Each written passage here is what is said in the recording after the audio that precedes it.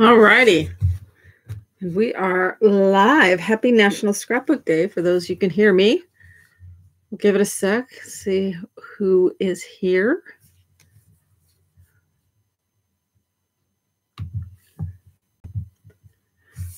I don't know if Joy is here yet. I just need somebody to let me know that they can hear this okay. We are uh, Oh, there we go. Thank you, Pam. Um, so we are going to be working on an album to go into a new 3D project I have coming up. Um, the Fairy Suitcase, which is a modification of my old vintage suitcase. But this week got a little crazy and I wasn't able to get it ready to go for today. So we're going to do the album that goes inside. Excuse me. So and with that, we are modifying a really old, really old um, project from January of 2010 and turning it into um, more of a junk journal. And I'm really excited with how it is coming out. So, other than Pam and Joy, do we have others here? I don't want to get started too soon. So, um, I did um, put up a video this earlier this morning um, showing how I assembled this new version. So that way, um, that way we can just work on embellishing um, for today. So, um,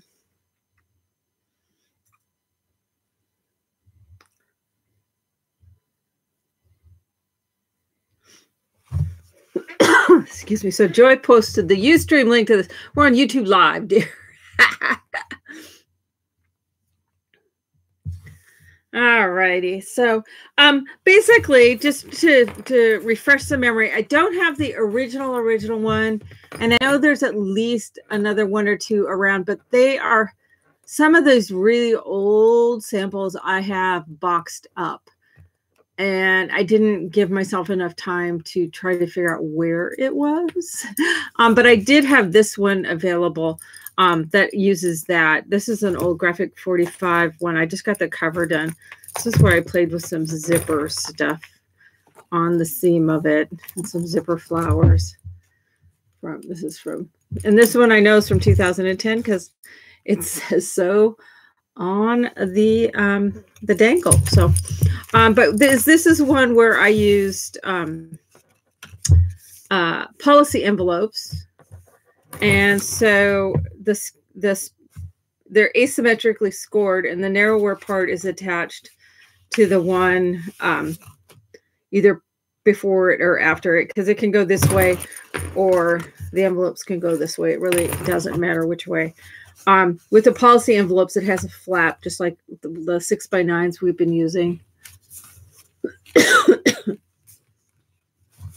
um, but then they attach to each other. So what we're doing this time with today's project um, is this one is the same size envelope. So one that where I'm actually doing for inside the fairy house or inside the fairy suitcase is um, larger. Um, but this uses those same size envelopes. So same sort of thing. The large part of the envelope and my pocket goes up to here because this is a tag into it. So that's the envelope. But what I've done is add that um, joint, I've added some other papers and such to give it more of that junk journal feel. Um, this one I'm just getting, I got all the paper matting done because I did this one in a traditional way of where I've matted it. Um, though some of the papers in there were actually the pattern papers. Um, I just haven't gone through and put additional embellishment. So at this point, it's just, um, it's just all matted, but, and I'm just starting to add little things in pockets and stuff. So, um, but you can do this totally um, just like I've got shown here, um, very traditionally where I've just matted um, the different papers, and it's got some kind of ricey paper. This is the pattern paper itself used as pages. Um, here is some craft paper. Um, so, you know, pretty much in a junk journal, kind of anything goes that you want to put into it. I um I don't profess to be a expert on junk journals. Um, I know they're becoming very popular. Um, and I have fun doing them. Um, it's a kind of a very different kind of thing. Um, now this one, I only put a back panel on it. I didn't put a front cover on it. Um, I decided to leave it um, this way, but you could add whether it's chipboard covers or um, fabric or combination of both. It's kind of whatever whatever you want to do goes. Um, but there are a million YouTube videos out on doing junk journals. So um, if you're interested in, in learning more about junk journals, um, there's there's a lot of resources out there. Now this one I've done using just little coin envelopes. And I got a little piece of canvas between two tags as my cover. So that opens up and lays flat. And then I just use these little coin envelopes. Now I haven't I haven't put my little extra pages in and I'm gonna hand stitch those in. Excuse me, like um this one I just showed you. I hand stitched those in and I use baker's twine to stitch them in. The one we're going to work on today, I use my sewing machine to put them in. Um, and this one, I'll probably just hand stitch them in. But it it gives me um, the little pocket of the coin envelope and then the little pocket for some little tags. So you can make, you know, just a teeny tiny little guy. And like I said, I'm going to use my um, adding machine tape as soon as I figure out where I put it. I would have done it since I did the video because I opened it up and went, oh, nuts. I forgot to put the pages in there um, when I was doing the video earlier. So, but I have to find my adding machine tape and I don't know where I put it. So, um, but I'll put some little in there and I want to, I'll probably end up decorating this mainly with washi tape. So once I have it done, um, I'll show you guys. So, but um, fun to do sometimes these little super teensy ones. And it fits in one of these, um, the Tim Holtz um, tins. So kind of a fun thing to do. Um, so now this is the one I assembled this together um, on the video that I posted earlier. Um, and again, just like I did with the, the little one, I have um, canvas at my um, um, spines. Now you could make these chipboard, and I'm using cardboard, but again, you can use um, chipboard just because on the suitcase, um, I'm using some cardboard also on the suitcase. So this fit with it. And I allowed myself a two inch spine with the thickness of how this all comes out together as a signature because it's pretty fat already and I haven't put all the rest of the stuff in there. So I'm using six by nine uh, manila envelopes. And then I've got some gridded paper. Um, this is some mixed media paper, and this has got a little pocket for to put some tags in. Um, some craft. Here's some um, rice paper that then I've then stitched on to the craft. Um, some um, page from a book Here's um, a junk envelope. This is literally, um, it came in um, as part of the mail. It's got the little windows in it. And then there's a tag here that I've also stitched a little coin envelope um, onto half of the tag. And I've left all the strings and stuff because I don't know what I want to do with them yet. So the other half of the envelope, and then it just reverses again. Um, rice paper sewn on there, the another little pocket. And then I've got this pocket here. And it's essentially the same. I did the same elements in each of the three sections. I just used them differently. For instance, the rice paper I've stitched to um, the craft paper. just close to the edge so it's not actually in the seam where it's attaching. Again, another little pocket, the grid paper, the tag, junk envelope, book page, and again another little um, coin envelope that I stitched onto the envelope. Same with this one, I stitched it on there. And then my craft. And this one I just stitched it up on the top quarter because it can open up and fold. Little pocket. The envelope. This one has a big, huge um, window on it on both sides. So I have the window on both sides. Stitched this, folded the um, grid paper over and stitched my uh, coin envelope on again with my machine. And this one's just stitched it kind of out in the middle, opened up, and then the pocket. So it's essentially three large envelopes and then everything else stitched in. And then as I showed in the, the video that I posted this morning, I showed you how to attach the three together. And by having the attachment allowing half an inch, the signatures are essentially attached to each other but has the same look as if you know they weren't. Um, and that half an inch gives them that, as I've always called it over the years, breathing room. So it allows for the expansion.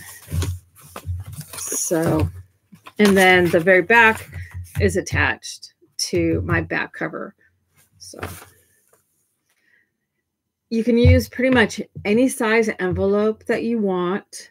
Um, as you see, I use tiny little coin envelopes.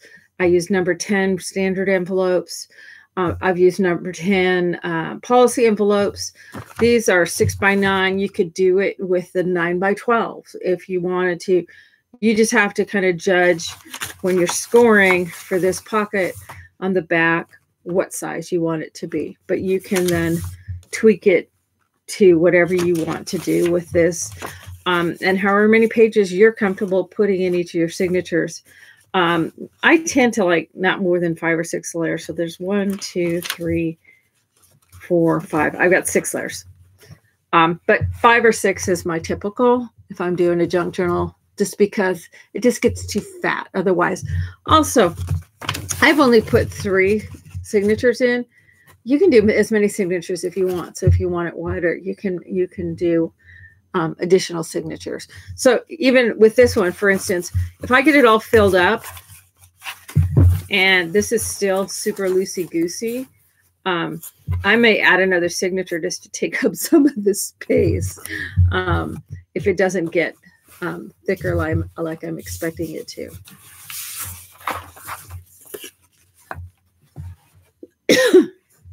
Does that uh, make sense to everybody so far?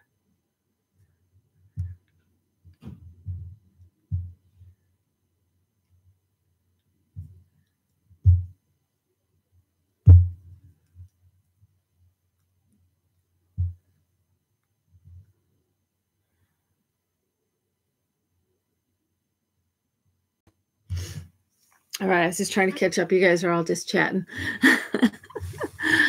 all righty. So, um, oh, another one that I've got underway as well is using some of my um, uh, Eco dyed papers. And again, it's just all using all sorts of different eco dyed stuff. So it's going to have tag. Here's an envelope in there. Now, one of the things I did on this, and this one's not all attached yet, is I had some vintage papers from uh, papers from vintage books that I've done in the dye. Well, one of the things, and I, they probably were this way before um, they went in through the tea dye bath, um, is they became very brittle when I folded them. So what I've just done is I've taken um, some piece of just really um, rough type of fabric and I've glued that over that folded joint just to because it's fine if it stays flat. It's when I folded this paper that it it just got very brittle. So, um, but I just stack these different layers, just line them up on the fold. Place them where you want to place them. in the order which you want them to be. And then um, you could just stitch them. Like I said, you can stitch it by machine or you can stitch by hand. This nifty tool that We Are Memory Keeper, Keepers has come out with uh, for piercing the holes to stitch. This is an awesome little tool. Um, you can also get the bookbinder thing that comes down at a V shape and you can you can do the holes. But for this kind of thing, because this binding method is has um, it's an ancient way of binding that has made a big resurgence. As I I laughingly said on one of the videos um, that you know I've over the past 11 12 years i've come up with like 40 different bindings for for mini albums and stuff. And and we're now back to where we're stitching our books together again so. I find it's rather funny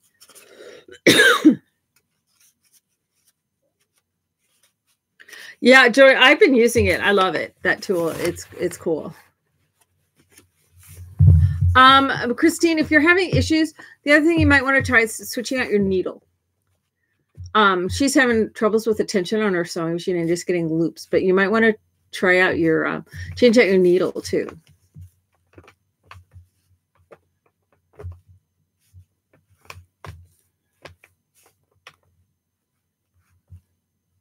I'm not going back to binding rings now. So, but um, yeah, so this is another one that I'm going to be putting together. And um, this one's going to definitely be much more mixed media. Um, this one, I'm going to kind of do a hybrid of um, a mixed media and a um, pattern paper. Um, I'm actually, I don't have this one up yet, and I'm I will try to have it up this weekend. Um, but I'm going to be using um, this one because it has kind of a mixed media feel. This is my latest paper. Again, I don't have it up just yet, but um, I will work on getting it up um, this weekend. So, um, but it has a feel. What I was aiming for was much more of a mixed media kind of look and feel to the papers and we'll do you know, kind of a hybrid. If you plan on whenever you're printing out papers and using an inkjet printer, um, as I've talked about on other videos, you do want to do some sort of, um, and you're planning to use any wet media over the top of them.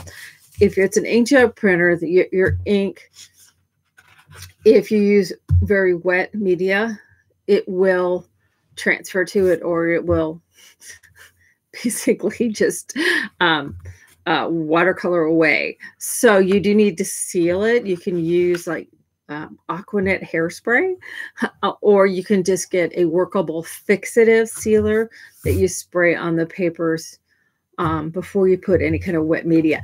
I some, especially if I'm just stenciling it over it, I don't I don't worry too much about um, um, sealing it. And then i because i also like being able to just spray it on occasion. And act kind of like um uh distress inks and stuff is it'll kind of splotch up so it adds to that character um with it. But um if you're planning to do like any kind of wash over the top of it or something like that you definitely want to seal it first um if you have an inkjet printer. If you're getting things printed like on a color copier or with a color laser printer, um, you won't have that same problem. But with um, an inkjet, the inks will um, be affected by water if you're doing wet, wet media.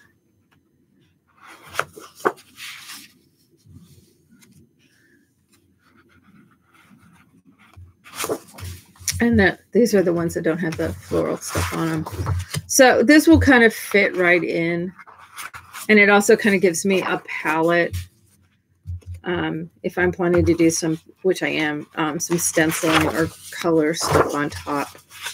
Because it's mainly kind of the blues, greens, yellows with a little bit of pink. So, um, you know, it's kind of, here's the palette between those two pages. So a lot of the kind of uh, dusty blue and green, some pops of, of the yellow, and um, the pinks in there. So that's kind of the palette. There's another one that shows kind of the color combination.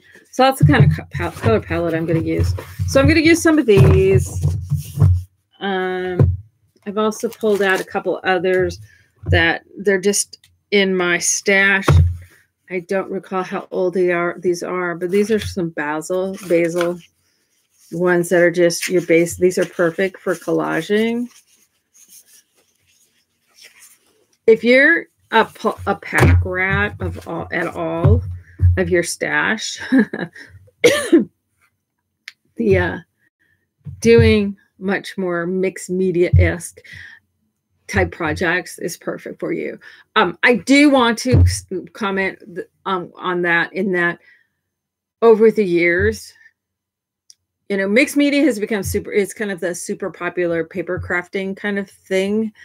Um, ha always has been, but it's much more mainstream now and not more of a kind of a a genre. It's really taking over paper crafting um, greatly nowadays. Um, but uh, for the years, the projects we've done, especially the albums, have been mixed media. So don't panic at the thought of, oh my goodness, it's something all completely 100% new that we've never done. Um, no, we have. a lot of the projects that we have done over the years have been mixed media. You can do any level of artsy fartsiness that you want to your projects that you want. You can keep it very um, uh, traditional, like I did on this one, or you can subtly add a few things like some stencils in that sort of thing. You don't have to go out and buy a million dollars worth of uh, fine art paints, materials, all that kind of stuff.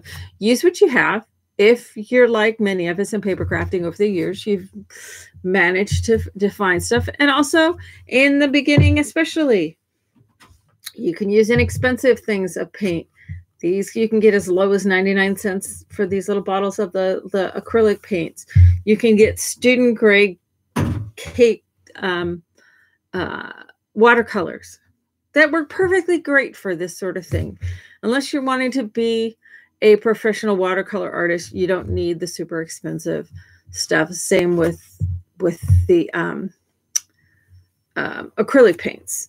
Um, you know, go with what colors you like in the price that you can afford. Is basically where I'm at. Um, you probably just want some gesso. I recommend white and black. It's relatively cheap, and some matte medium and maybe some gloss medium if you want that, but the matte medium um, for attaching things. Beyond that, it's you, there's all sorts of different kinds of different kinds of mediums um, and textures and all that kind of thing that you can can get, and then some stencils and there's this is squillion and two different stencils. Tim Holtz has stencils. Um, Stencil Girl, those are much more the artistic style uh, is with with the stencil girl stencils. Um, the the crafters workshop stencils they have both traditional and they have a lot of mandala type stuff and so they've got some really cool ones as well. Um, let's see those are the main ones but oh everybody and their brother has stencils out um, and that sort of thing. So you know um, go with what you like. so um, I just got a set. I don't remember whose these are. I hope it says on them. It's got some little ones. Where did they go?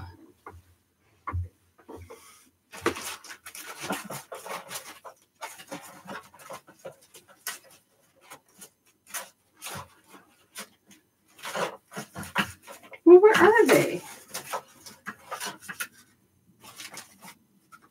Hmm.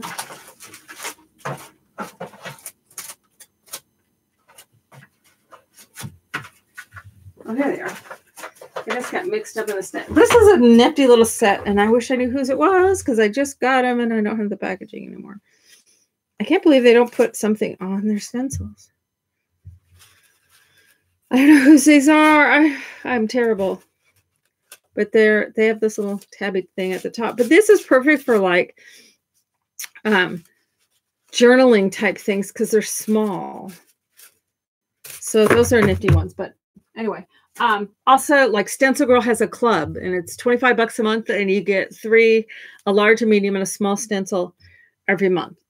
I belong to it. It it gets me stencils that there's no way I would have bought, picked out and bought, and then they turn out to be my favorite. So all sorts of of options available.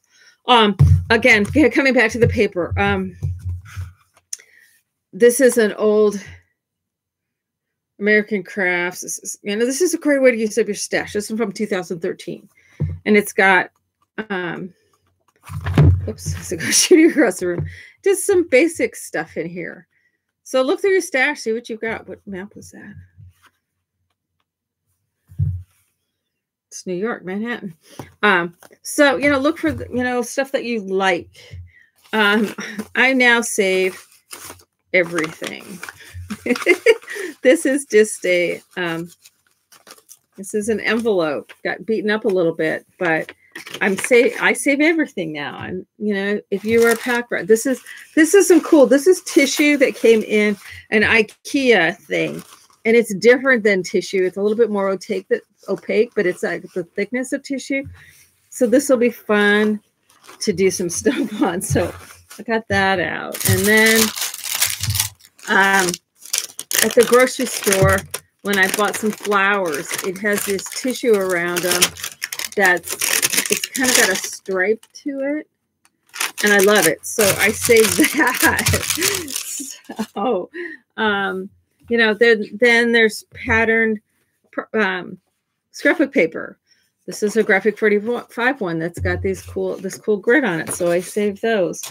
Um, then I've also, I, I printed out some tab things from one of my other paper collections. Um, last night I was I almost tossed these out because this is what I use. I use the back. This was one of the the embellishment packs that went with the paper collection I was using from you know from this was Butterfly Gardens from Pink Paislee. This is from like 2012 or something like that. But I used the packaging back because it was printed for the back um, of the the album or the book. But I love these things because I thought these things were so cute they'd be cute on the tops of tags or something. Also, my, the little Tim Holtz tickets things.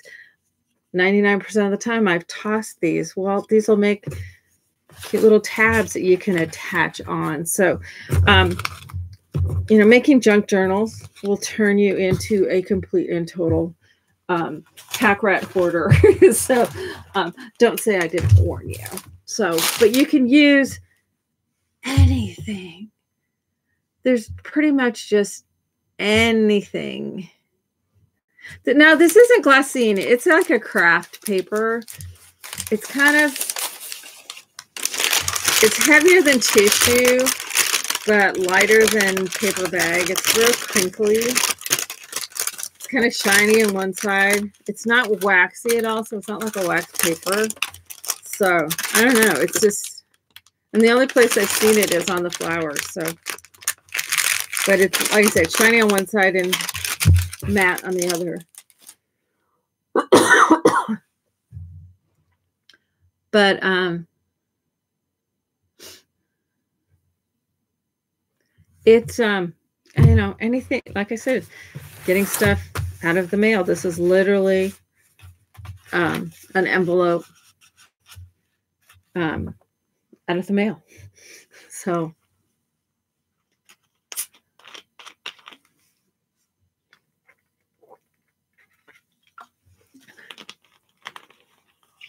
Well, 90% of the places, it is boring clear cellophane. But um, at the grocery store near my house, see, it's got this hole in the middle. And so it's still got the clear cellophane in it too. But this is like right around the flowers. And then they got this clear cellophane too. So I've got three or four of these because I keep them. You know, my my kids and my husband are they all just kind of roll their eyes when I want to keep some of that stuff. So.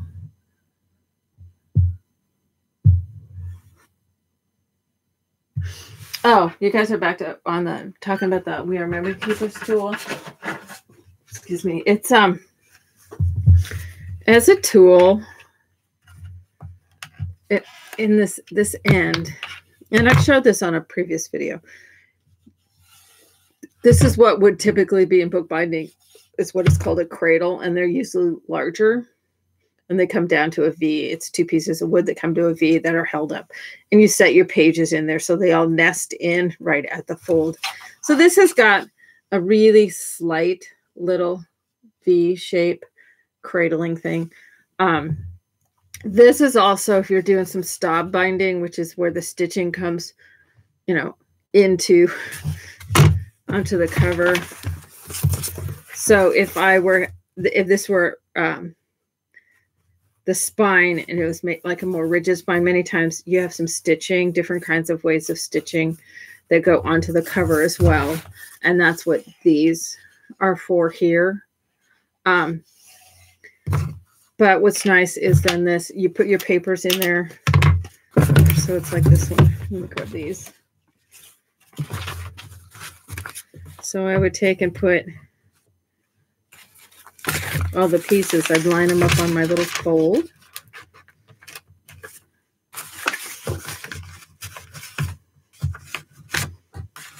In whatever order you want them, placement you want them, that sort of thing.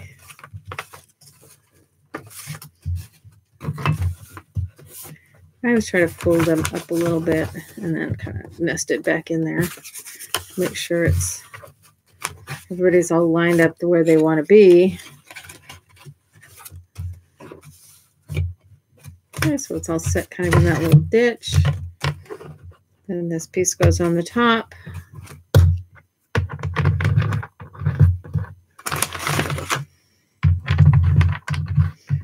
And it comes with a piercing tool, but I have a a nicer piercing tool. Um, and then you can just punch the holes in it. Um, I've marked and like just like I did on um, the score tool, I marked the center hole on here with uh, Sharpie marker so that I can center. And typically I would center it, and then I can I can pierce whatever holes that I want to pierce. Um, to stitch it. So what I did on this one it was all of the holes that had the circles on it. So it was every other one. And that gives a half an inch separation of them. Now I did that on this one, I did a pair that I tied together, four pairs of holes that I tied together. But you could also just do a running stitch down the length of them. Again, there's all sorts of fancy things. Excuse me. There's all sorts of fancy things in terms of the stitching. Um, there's a million and two options of stitch bindings of things that you can do.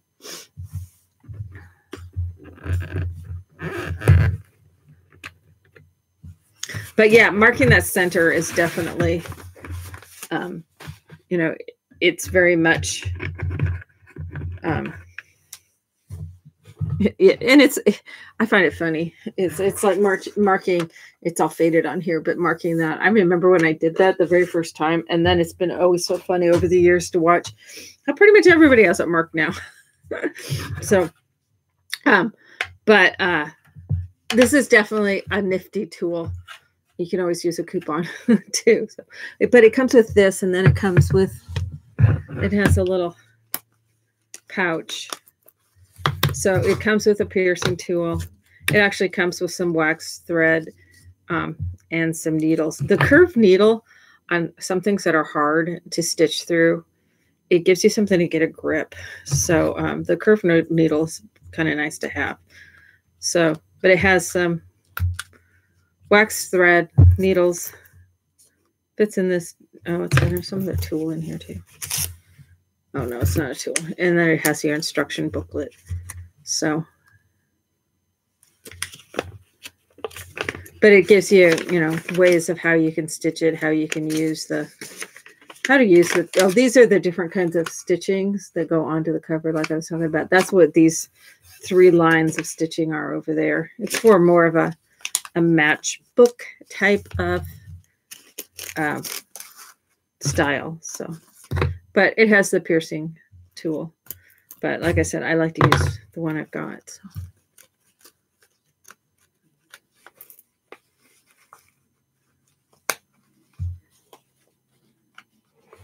So worth the investment. Um, if if you are thinking of doing any kind of that that kind of binding um, for making those signature type things. So anyway, all right, so we can get back to this. I love how it just kind of pops open too. It's kind of fun. But like I said, I have a um the cardboard on the cover and I'm going to wait on doing the covers so I can just kind of tuck and wrap those around. Now I'm going to be using kind of, you know, some paint, be a little bit messy. Um, I have been finding, I don't know if any of you who follow me on Instagram have been following how, other than this morning, excuse me. Let me have a drink of my water here.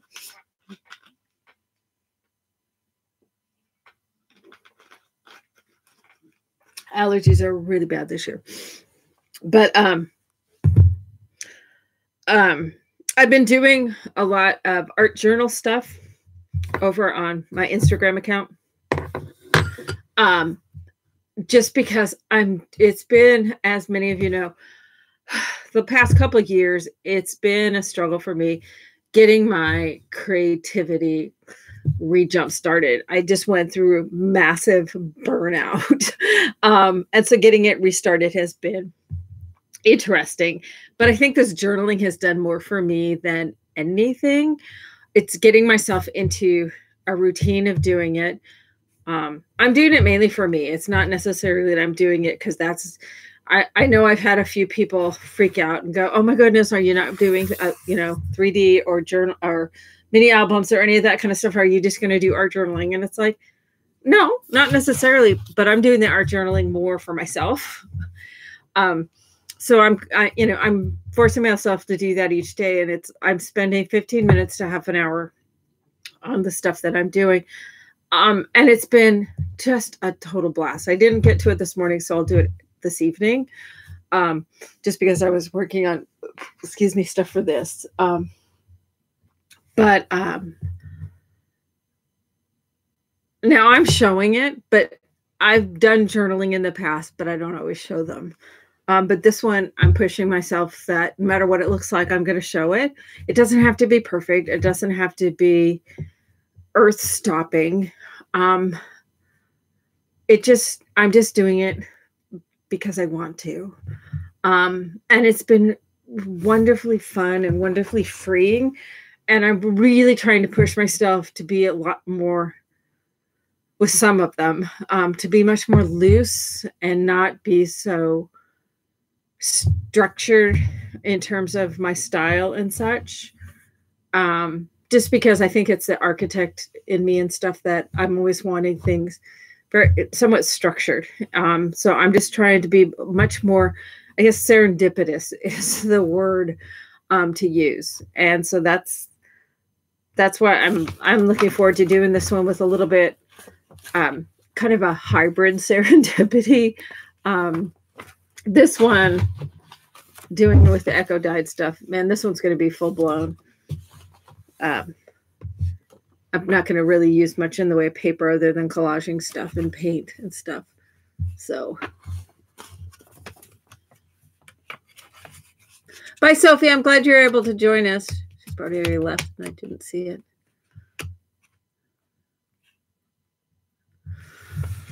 So anyway, um, so we can go ahead and get started. Now, when I stitched everything on, I just left my threads hanging and I'll trim them as I choose to or decide to on them. Now, um, everybody goes about how they embellish their um, junk journals whether you want to flip everything and start here and go through the pages, or you start in the middle and then work towards the main page or the back pages. Um, one thing when you sew something with the um, sewing machine, it's almost like it's a perforation um, with your stitch. You want to lengthen your stitch length a little bit, which I didn't do on this, but I can see with this tag going back and forth and back and forth and back and forth, it's already starting to get ready to where it's going to want to just if I wouldn't have to pull very hard for it to want to tear out. So it's it's like perforating on paper. So I will probably go ahead and put some um, uh, washi tape or something on both sides here just to give it some um, some extra. um, it also depends on the paper. You know, these are our cardstock um, weight tags, so they're a little heavier than, for instance, the envelope and the paper doesn't seem to be as impacted by the perforation. Um, whereas this this mixed media paper, I'm going to put some tape on that because this one's already starting to tear, I see as well. So if you are using your sewing machine, couple things to remember. Lengthen your stitch length so it's not perforating quite so tight. Um, some machines you may need to mess with your tension a little bit, but um, as a long time um, sewer, machine sewer, I try not to mess with my tension. There's usually a lot of other things that you can do before touching your tension because getting your tension back to normal again is a challenge. Also, if you still sew a lot on fabric, after you've sewn on paper, change your needle. Paper dulls sewing machine needles very, very quickly. In fact, I get to the I've I am at the point where I will take my fabric machine needle out and then I have my paper needles and then I'll switch them back and forth. Um, mark them somehow with it, whether it's with like a Sharpie marker or something up on the shaft. Um, but it's the same as with um, um blades. Um, you don't want to go from sewing paper back to sewing fabric with the same needle. It it really dulls the needle down, and then you'll run into to heavy. You'll have more issues sewing on fabric with a needle that's been sewing in paper. So, so hopefully um, that helps those of you who do have sewing machines and want to use them on paper. You can you can get an inexpensive sewing machine. Um, very especially used ones inexpensively. You don't need a super fancy computerized machine uh, sew on paper, so you can you can uh, get away with doing something pretty inexpensively. Um, so anyway, all right, just watching my hands flop around and my book flop around is not what you're here for. You so let's go ahead and and um, get started. Um, this is always the hardest part for any of us. I have a blank book ready to go. Now it's like, now what? So, um, but it also depends on you know the kind of style. It, the, it's much easier to start one with pattern paper than it is to start one blank page with um,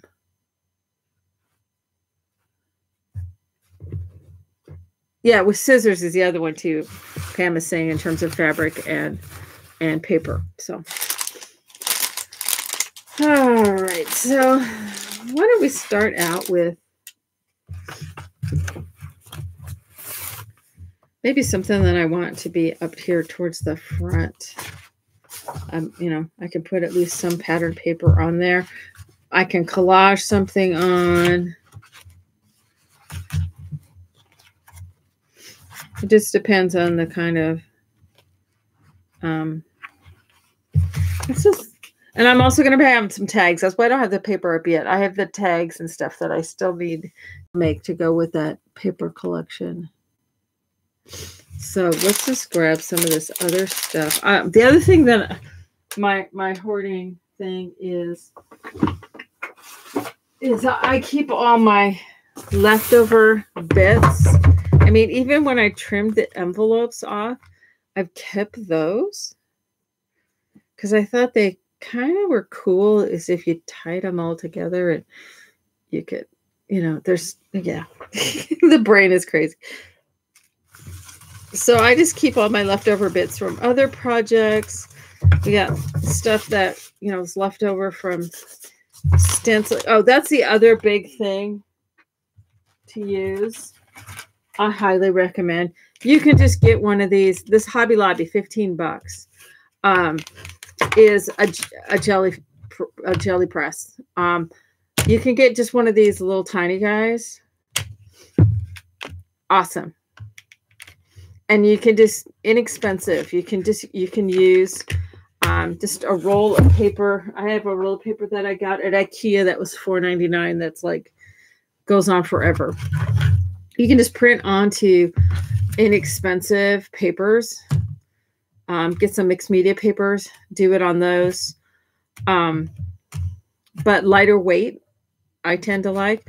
A lot of people use deli paper, which you can get off of Amazon, that kind of thing. But using your jelly press to print some papers up yourself, awesome. It's an awesome um, tool to use.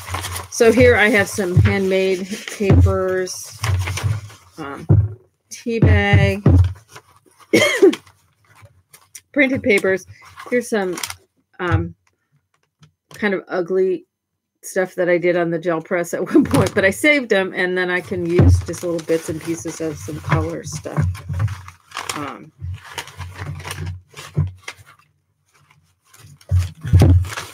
there's a stitch in there that's not supposed to be in there, but this is just where I keep all sorts of tiny little pieces because you never know when you're going to want something that shape. So like I said, I'm going to turn y'all into hoarders. Um, so don't hate me. All right. So um, my comfort level is not necessarily starting here. I like starting kind of here in the middle and going out from there. So I do need to get some tape out, which is underneath my stuff that I just stacked on the side. So let's grab. Let's take the top off here for a second. Um, so the palette is greens, blues, little pink.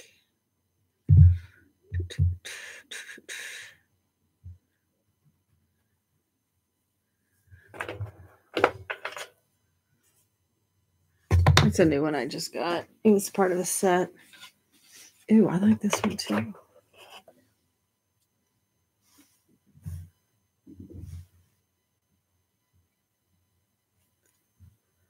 Let's do that one. It's less boring. Um, but where this is starting to come apart a little bit. So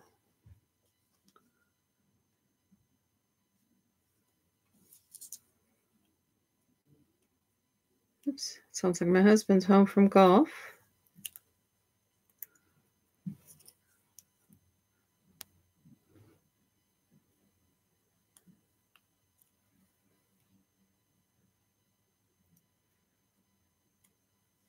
Sometimes getting him started is tricky. so about, so I want it that long-ish. And this is this is a, the best tip I ever had when it came to washi tape is glue it. I never liked washi tape because it wouldn't stay stuck. Then I took a Seth Apter class and he glues it and it was like, well, like, um, duh. I felt really dumb after that. It was like, oh, why didn't I ever think of that? Because my issue was it wouldn't stick. And so, hello, glue it down. I just feel like I'm off camera constantly. Let me see if I can get this to tip. I don't want you necessarily there. So, oh, I need some new lights though. That, and that's my next investment is to get some more lights. All right, so I like, I think I'm to put some on the back side too.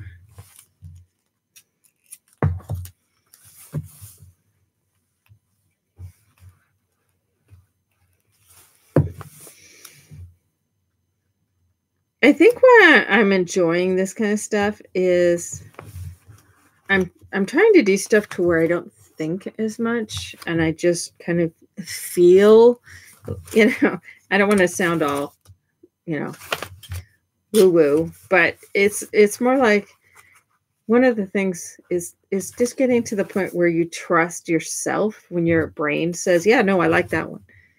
Um, is going with that go with what your brain says yes to and not necessarily what you then have an internal argument with yourself as to whether or not that's the look that you want or not just kind of go with the flow so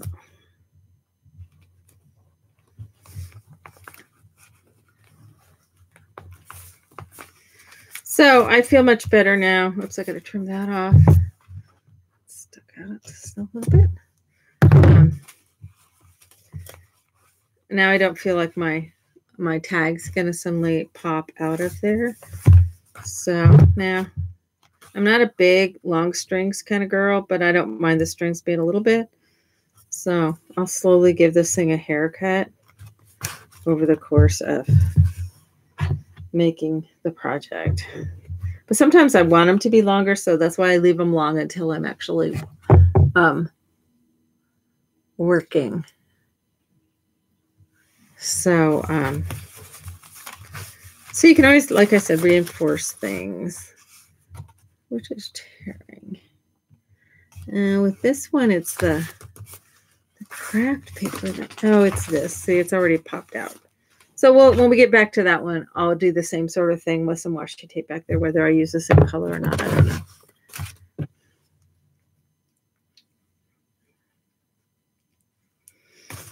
So now with this envelope, I don't necessarily like the blue that's back behind there. So I can always put something back in um, behind there. I, and also I might do this a little bit of paint on um, here just to give it a little bit of color. Probably some watercolor. Let's pull that out.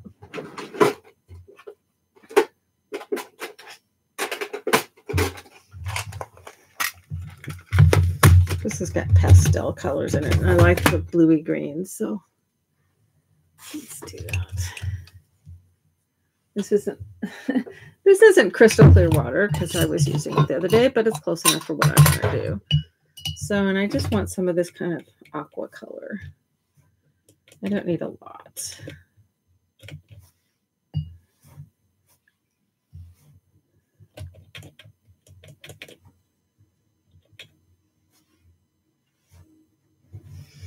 But I just want to give it a little wash. You can use inks for this too. You don't have to use watercolor. You could use um, one of the things I do want to do because I tend to forget and leave my cutting mat up here. And then I pop my heat tool out. I want to melt it. This needs a whole lot more color in it.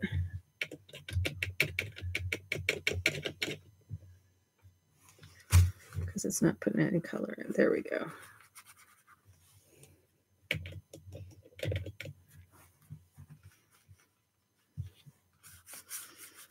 And it's going to bead up on the window part. So I can wipe off the glassine window.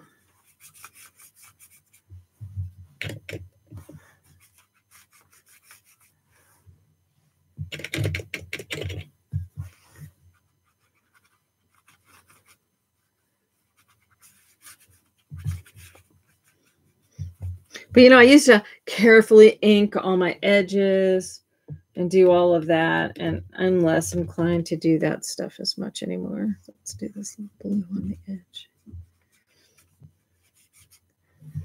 Um,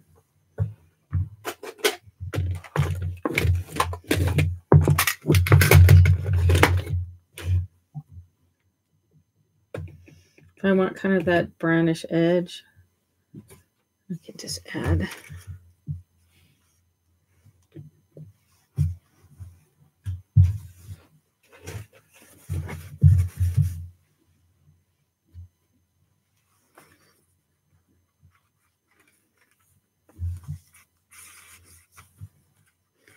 This kind of give it that. And then I can paint it or dye it. So, but um, it's a little bit more loose. Unless, um,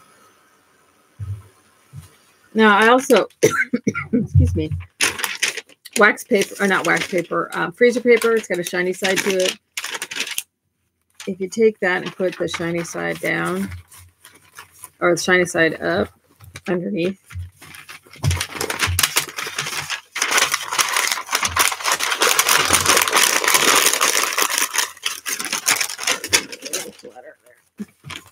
That way, if anything drips.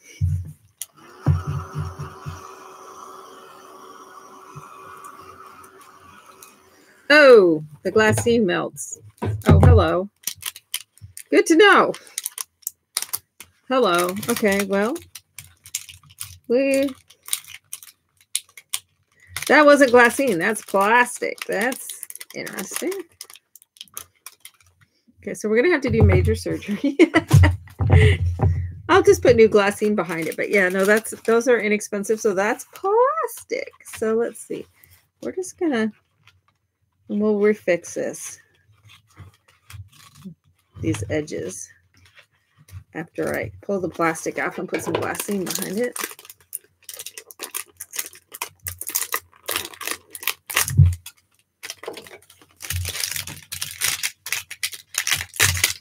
Okay always fun.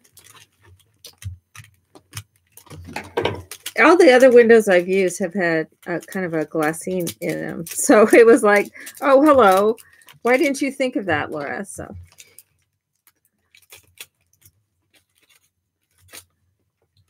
So I'm just going to trim the plastic out. I can peel it out without tearing the paper too bad. Then I can just put some glassine behind it. So, note to self when you are using envelopes with plastic windows in them, make sure you don't use your heat tool and you just let it air dry.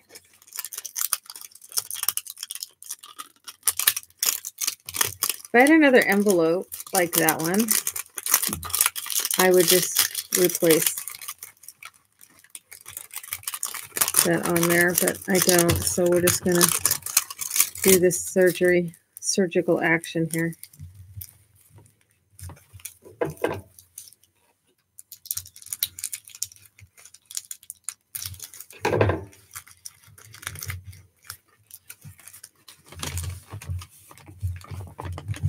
It's going to add character.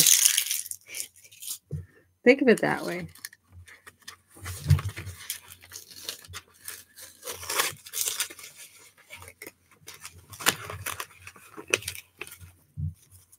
Just have one little spot still. Okay. Well, that was exciting.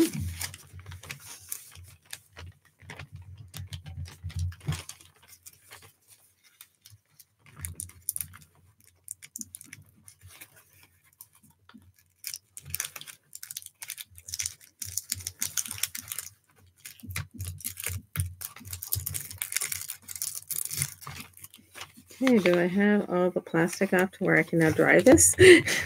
okay, so all the plastic's off.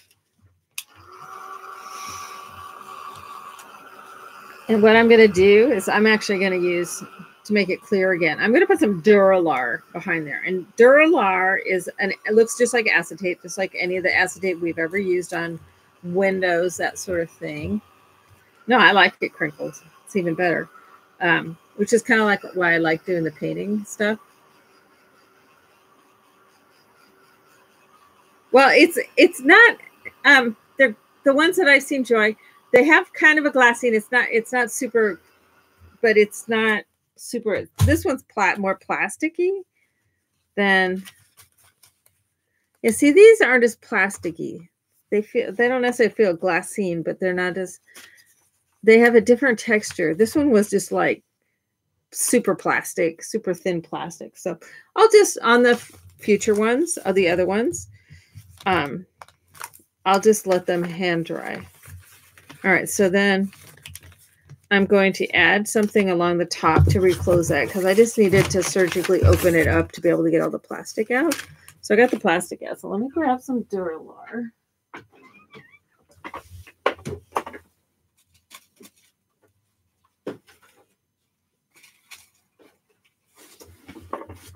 So Duralar, I know they have Duralar at at Hobby Lobby, but they also have it.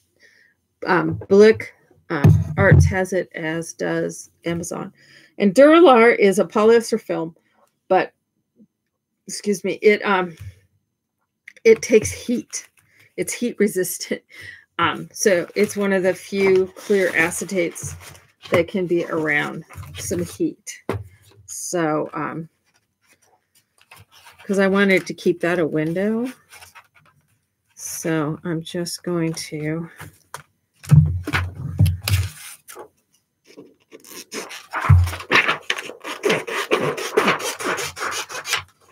cut a piece that will fit.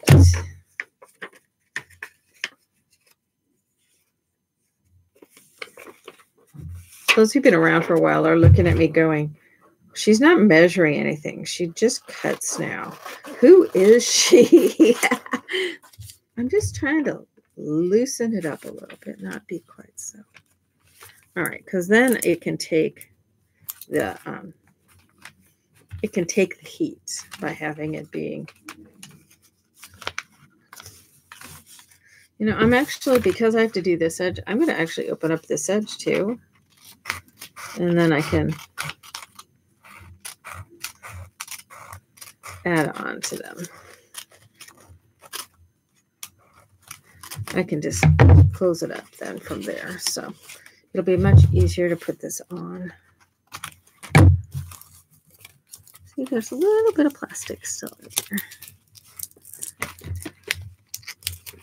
This has been major surgery. This is not what you really thought. Oh, I'm going to go watch Laura do major surgery on an envelope for my National Scrapbook Day viewing pleasure. so, ah. yeah, just, you know, if there's a window, just let it dry.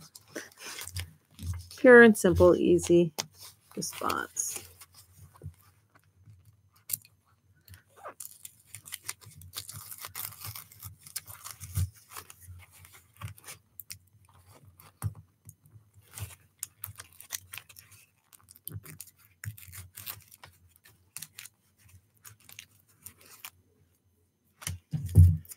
Yeah, like I said, I've used windowed envelopes multiple times, but I've never had it melt quite as quick and easily as that just did. That was pretty rapid.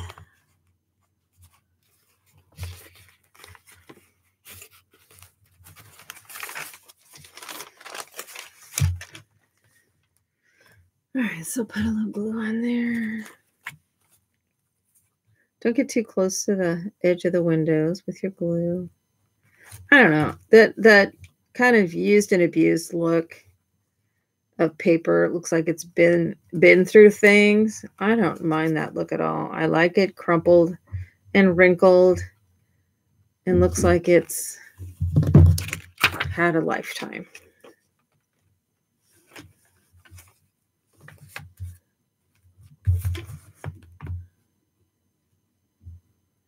Dr. Laura, scrapbook surgeon. Yeah, that's about it.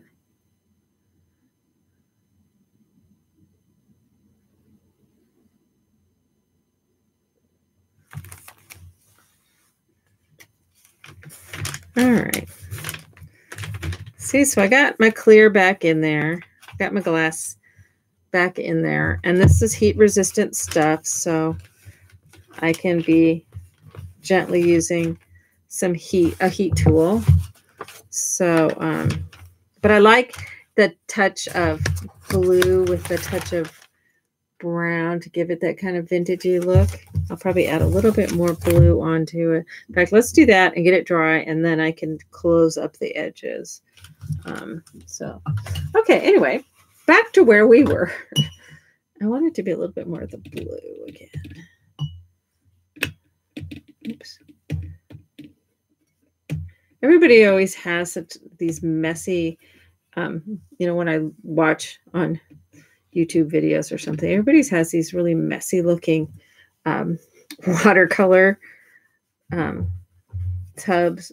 I don't know. I'm just, I like mine nice and tidy and the colors separated. I have a hard time letting them mush together.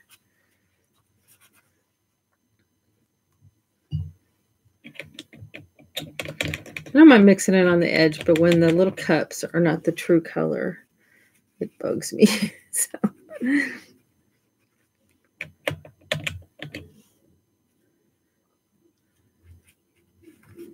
All right, so then I wanted to add a little bit more. Just water the boo-boo down of this brown because I don't want a lot of it. I just kind of want to go around. Window. As I think I was saying when all this went down is um, also it doesn't really, the paint doesn't really stick to the plastic of the windows so that you can then, probably should have let that glue dry too. So now I can do this without it curling up into oblivion.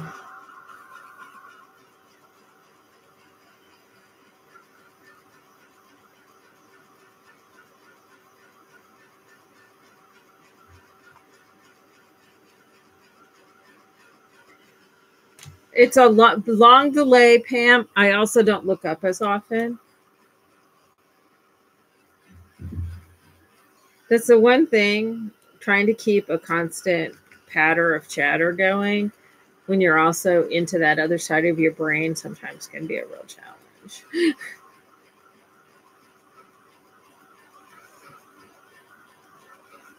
All right, so that this one I am going to use that one that I was originally going to use. This one's kind of a vintagey looking one. Um, and I'm going to use it to attach my pages back together. Or my pocket back together, my envelope pocket. So this is um the shiny side of uh, freezer paper, so I can just set those on there and they won't stick permanently.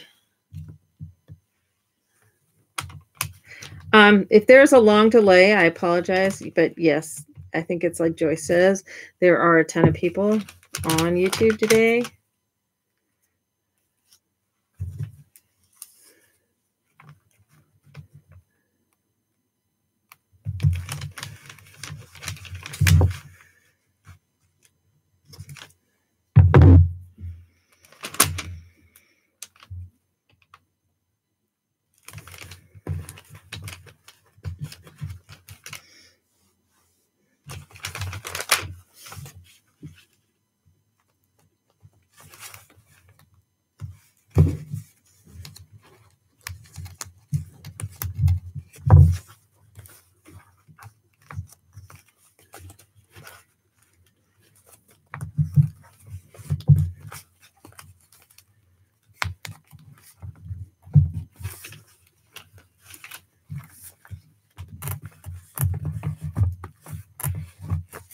All right, so there. I've got that to where now this is a pocket again. It's still not quite dry, so let's get it a little dry. Keep your, your tool moving fast whenever it's over something like this, though.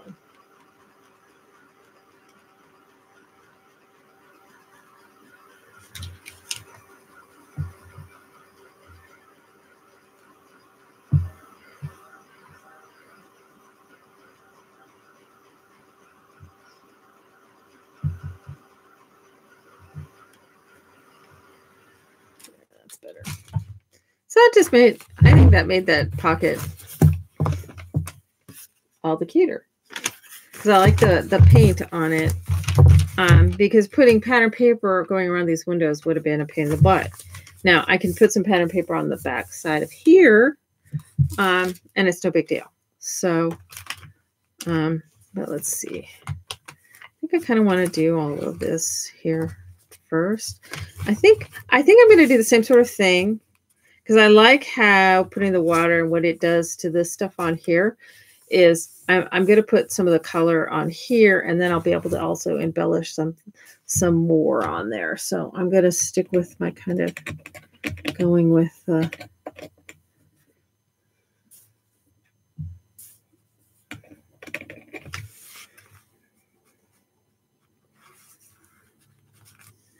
Now these are little Prima watercolor um, things. This is the past vintage pastels, and this is the um, the complexion. Um, and the main one I like is the classics. But these are just a really nice size, and they're not super pricey but it it's just you know for stuff like this it's easy to get out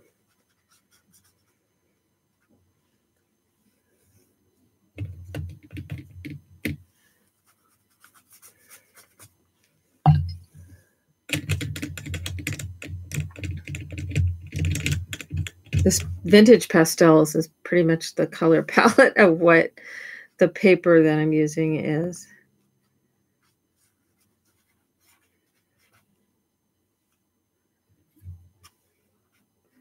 And don't think about it too much. Just plop it on there.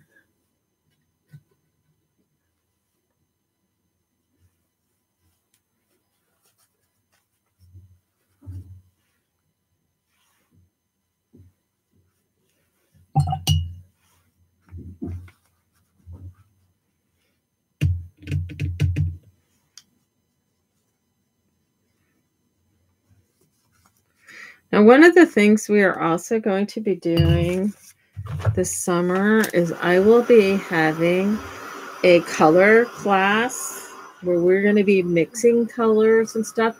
Um, it's going to be more on literally about the mechanics of color, but I'm going to try to do it in a fun, not super technical type of way.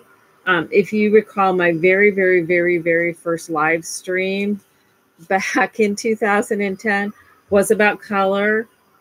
Um, and I so I think after all these years, it's a good one to go back to. Um, but we're going to be doing it, and you can mix with either watercolors or acrylics. Um, I will be doing both. It's going to be a, a pre-recorded video series. Um, it'll be part of my day camp stuff. Um, so uh, but that will be coming up. That's going to be one of the first um, day camps that I do, and that will be a week long where there's videos released each day. You'll have access to the videos, you know, till the end of time, kind of thing. Um, yeah, see, I like how that that came out. It just gives it the aging, but not so.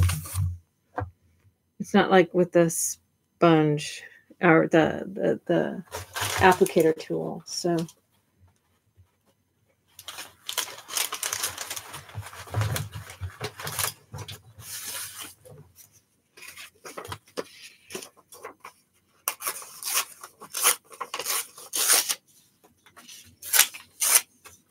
this is just some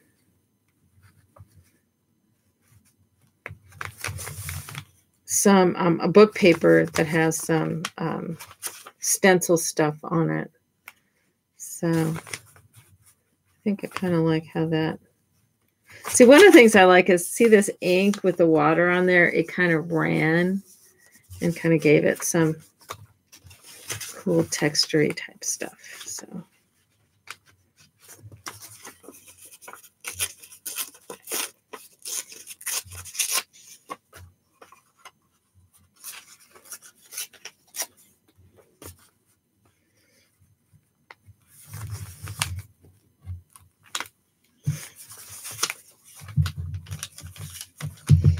Now this is where I can put this on with matte medium or I can put it on like I am. With this, the glue stick.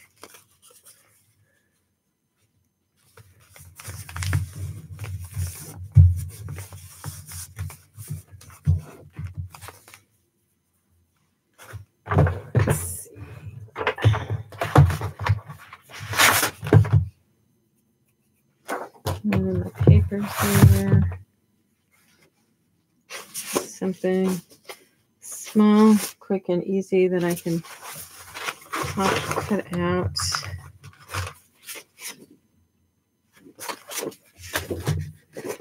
And I've done, I've printed these on mixed media paper.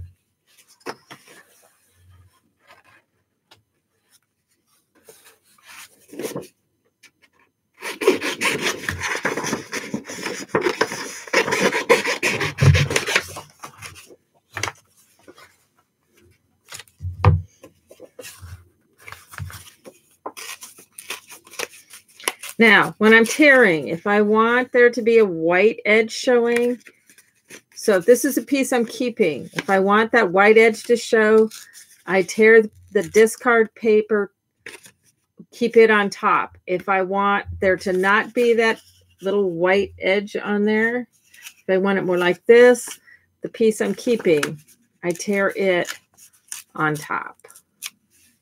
So here I tore, this is with the piece I'm keeping. Whichever one's on top doesn't have the white edge. So on this, this one was on top here. This one was on top here. This was on top here. And this was on top here. Does that make sense? Oh, I'm off camera. So, but see how this goes where there's no white edge. There's a white edge, no white edge, white edge. Where there's no white edge, this piece was on top. Where there's a white edge, this one was on top. So if you want the white edge that you can ink, then um, the part you want to keep um, is on the bottom. If you don't want the edge, the part you want to keep is on the top. Does that make sense? so, so for instance, I want to keep, this is what I'm keeping, but I don't want a, an edge on there, a white edge. So I tear it with the part that I don't want the edge on on top.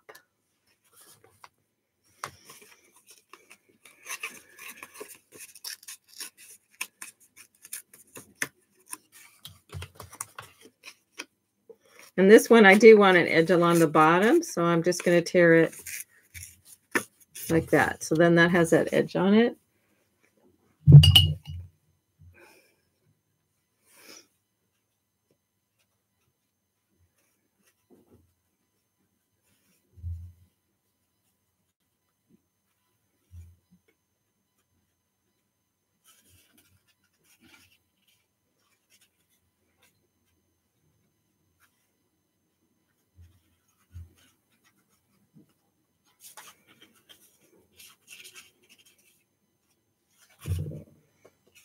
So I just get a little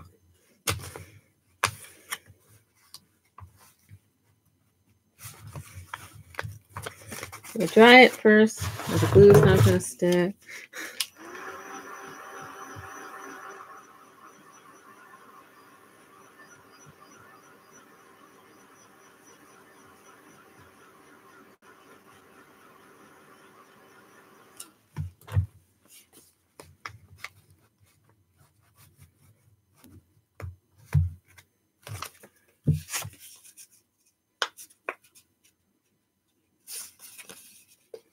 Now, if you're using glue stick, make sure you're getting one that is a permanent glue stick so that it doesn't like come off. Or again, you, I can use matte medium. I could attach this down with matte medium or even like I'm doing right now, some glue. Just buckles a little bit less when you're using um, the glue stick versus glue.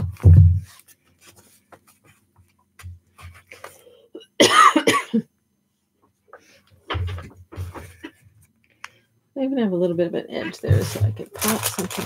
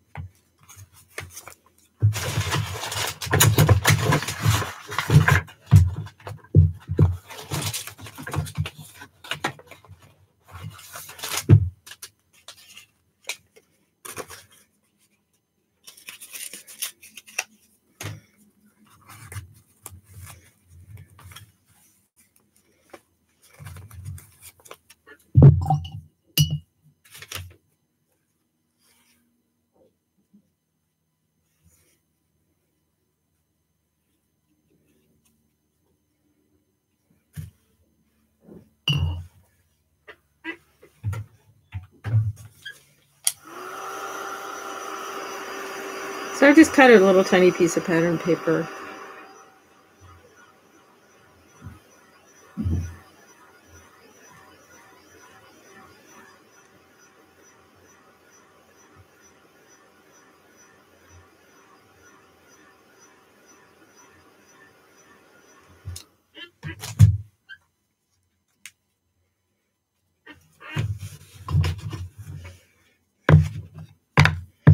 Curled it up a little bit, and then I can add some ink onto it too. So.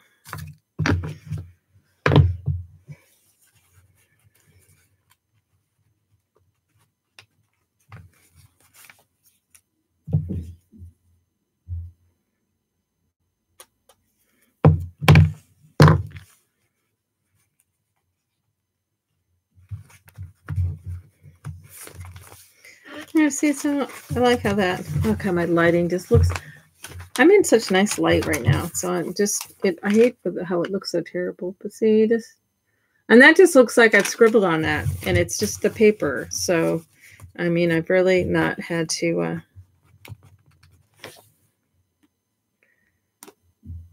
I didn't have to draw. so there's you know there's commercial papers out there um, you know not just digital you can buy papers that look much more hand painted kind of look to it. Or you can you can use, you know, actual printed ones. It just depends on what style that you're looking for for wanting to do with this. So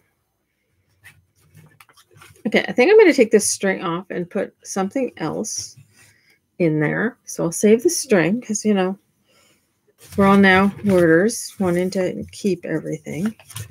Um, and this is a kind of got a shiny finish on it. So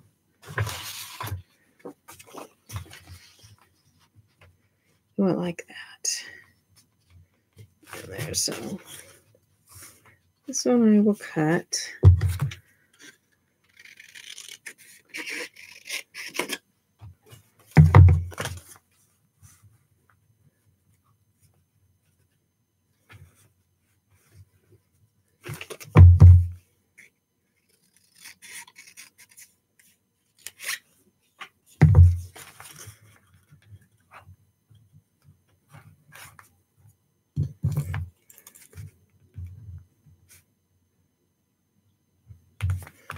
Big is that circle thingy on there so I know to grab the right size.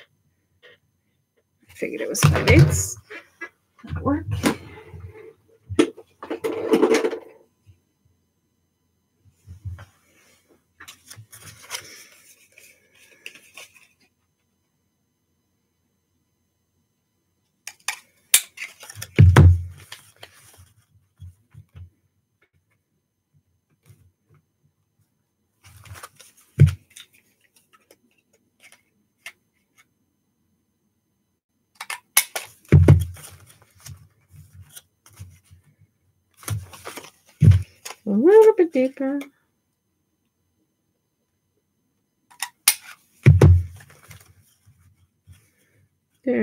Fits right around there perfectly. I like how that's going to look.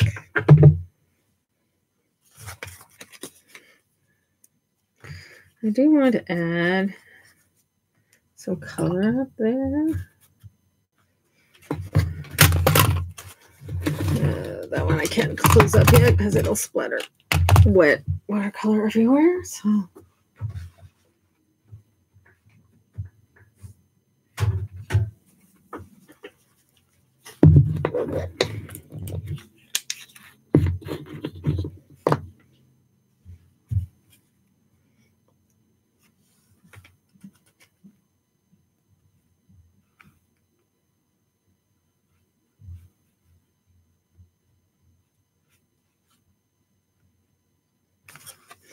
Uh, just throwing a little pink on that top.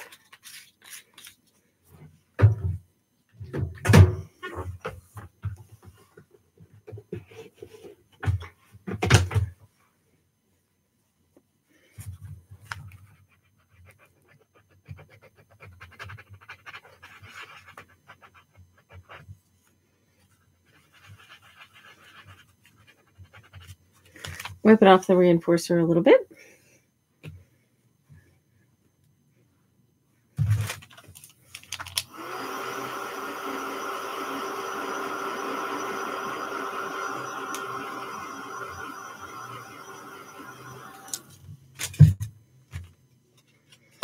And actually, I think rather I'm going to use frayed burlap rather than the um, vintage photo. The vintage photo for this this palette is a little orangey, so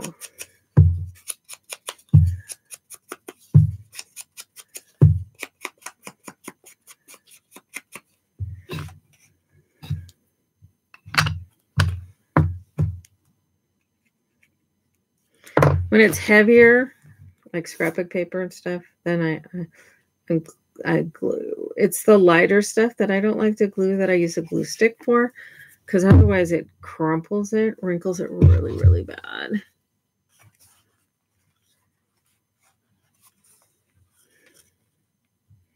So this gives a cute little journaling spot.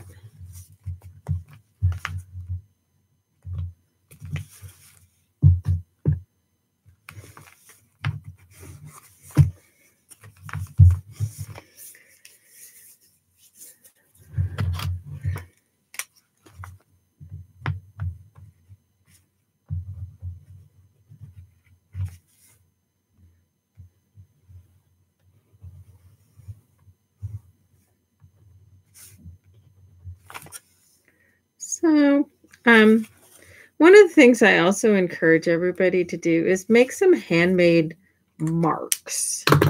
I remember way back, way back, way, way, way back when I was the semester that I decided I didn't want to do architecture and I was going to be an art major. I just remember my uh, drawing teacher going on and on about marks, making marks. So now this is the um, Signo Uniball um, in the black. This is one of my favorites. And there's also a Sharpie S-Gel. This one's a little finer point on it. I absolutely love it too. Um, and these are the two. The Uniball in the white is is like my go-to. But what I like about these is they'll kind of mark almost on anything. Now, this gel one, the Sharpie gel one, I thought it was just like every other Sharpie and it was permanent and I could just go over it with water. Um, um, no, it's got a water based ink in there. It's not a permanent ink. I'm not real sure about the Uniball one, but I like just having that kind of hand look on something. See that this one, this Uniball, I've just found these in black, and these are kind of fat. Um, so that's a good thing to to remember. Um, but I want to I want to test something real quick. Let's put the Uniball there. Let's see with the Sharpie and the gel. Get those. We'll let them dry. Take a little wet. See how this one will smear. And if you know what they'll do in advance, it's like, okay, if that one smears, I can use that to my advantage sometimes. Okay, so the Uniball one is permanent ink. So it didn't smear, but the the um, Sharpie gel pen did. So, but that's good to know for the future because then it's like, okay, if I know it smears and I want that effect, great, I'll use that one. If I don't want it to smear, I can use the other one. Um, because I got, got completely caught off guard when that one smeared and I wasn't expecting it. So, okay, so let's do the back side of this.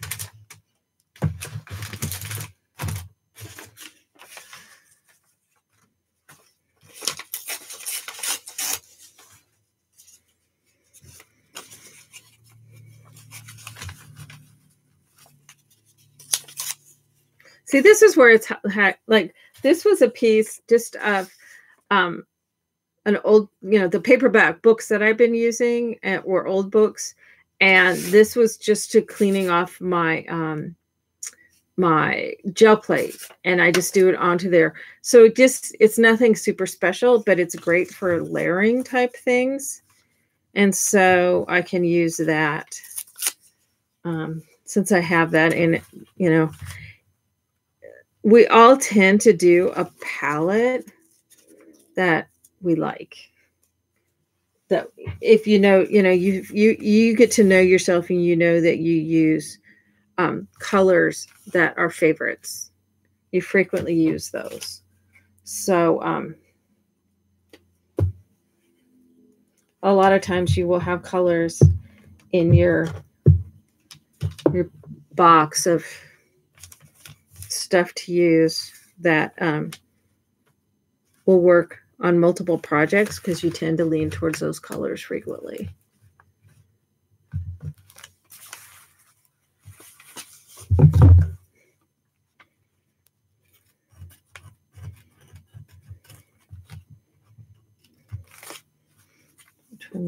I like using the, the actual book paper just because it's got a texture to it that's different. So.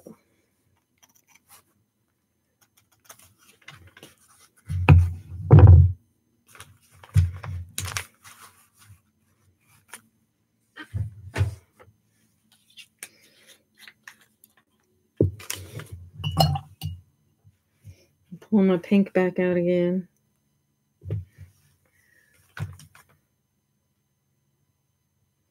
I'm just going to make some dots.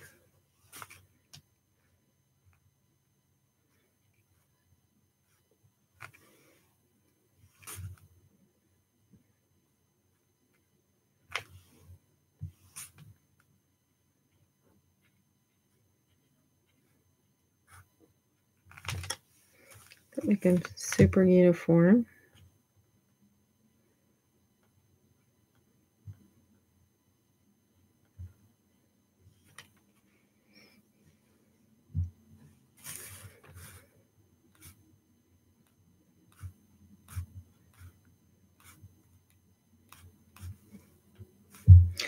My theory is when you think you need one more, stop there.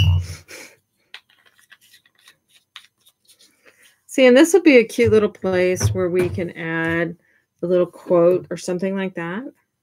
I like using quotes. So this is a thing where that I can add onto this this little piece there. So all I did here is I just um, collaged on a little piece and then just took some acrylic paint and added some dots. We could um, stamp on it. We could add some um, um, other collage stuff on there. For instance, on this sheet, I have some little stamps. I could actually pull the actual postage stamps out. These are from my childhood stamp collection.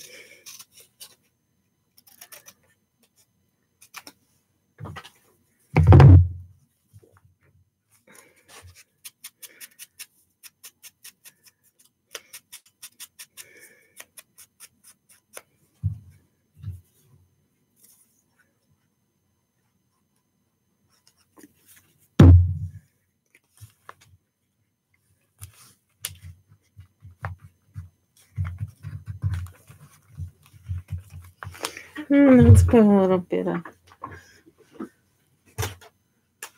So now I have a little basket that's got goodies in it. And I can use on the screen.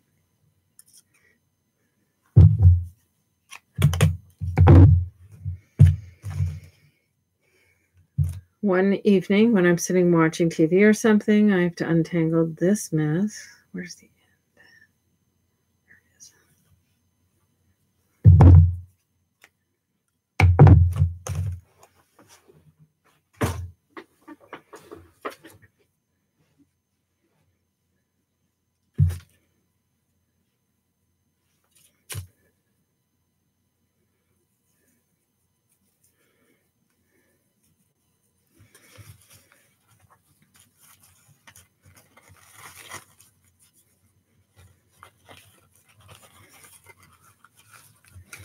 See how this is great for using up those little bits and pieces of just about everything that you have laying around that you now will never want to throw away ever. But it's all bits and pieces. And that's the beauty of junk journals is it can be little bits and pieces of stuff that you already have.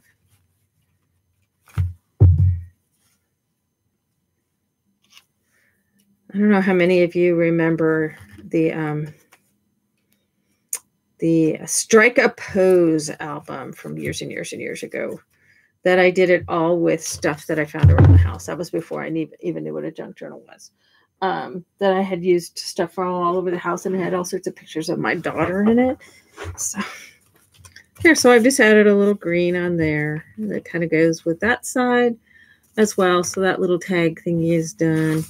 This is done. Now we can do this little guy and we can put, you know, something. I, I might even make it tall enough to where it kind of hangs out a little bit because I've got plenty of room for it to hang out. Um,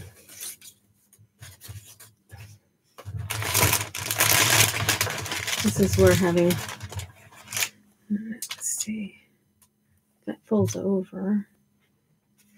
Let's see, we can find something in here. Oh, I like the map. Okay. Dora the Explorer going the map, the map, the map just jumped out into my head. That's frightening. I haven't heard Dora the Explorer in about a million years, so. Okay. Sarah's texting me something just like I gotta look.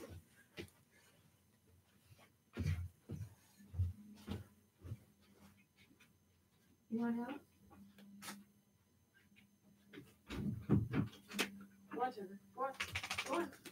Here's the Sarah. I told you it was in here. No.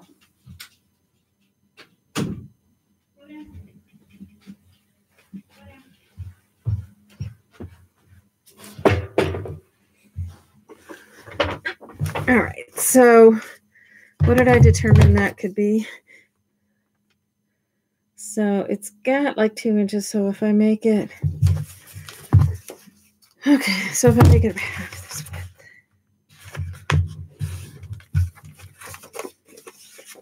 Oh my goodness, she hasn't even gotten out her, she hasn't measured anything. Y'all ready to faint?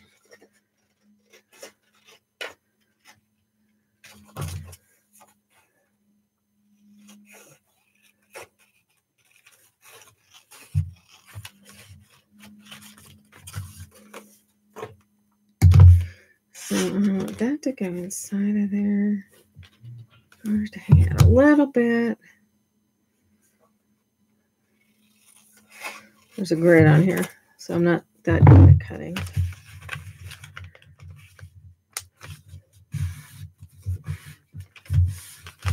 So this is going to just slip inside here like so.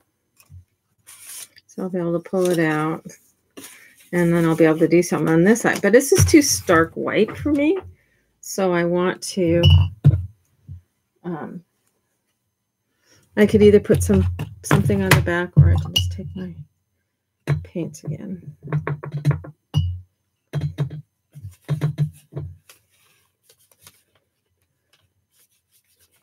The other thing that works really good for doing, oh, that's way more orange than I want. To water that down.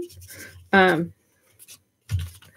the other thing you can use too, if you don't have watercolors, you can water down your um, acrylics for one thing. But another real cool thing to do is have you buy the coffee in the uh, that's already made as coffee. I know Starbucks has it, I'm sure. Whoops, I don't want that orange. Um, but I'm sure others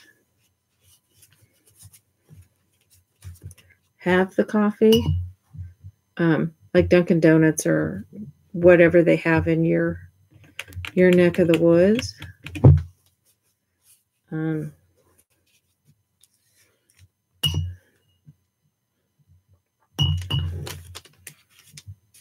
ah, and you so you can coffee dye. It's really easy. so you can just have a little little cup of that sitting. Just don't drink it after you've dipped your brush in it. So.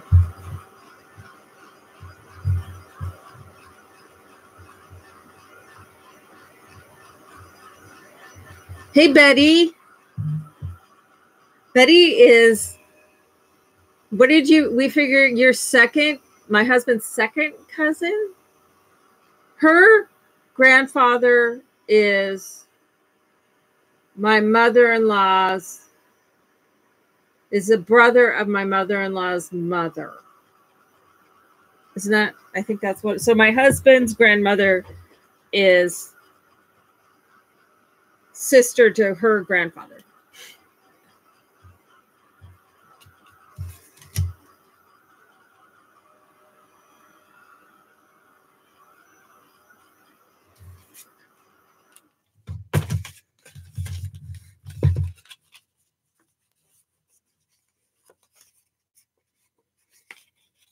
That's too hard for me to process.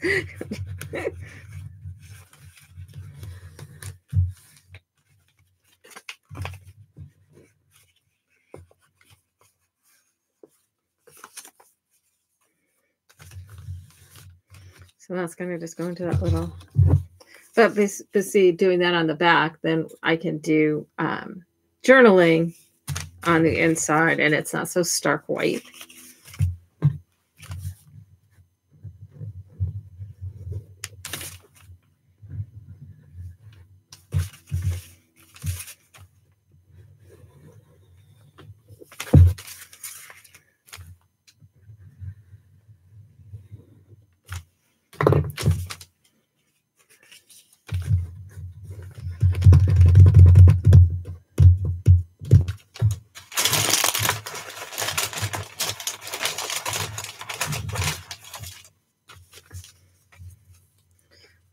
Can have this little tab on here to pull it out.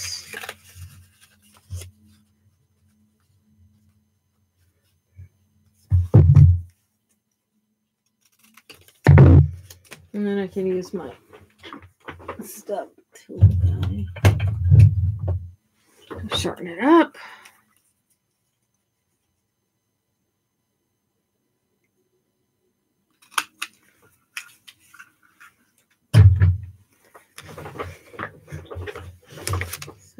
That little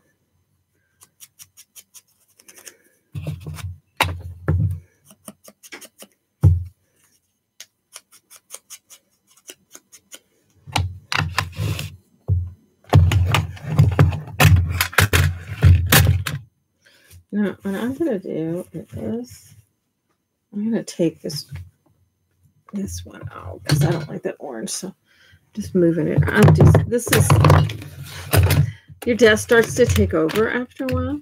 I want some green on the back of this.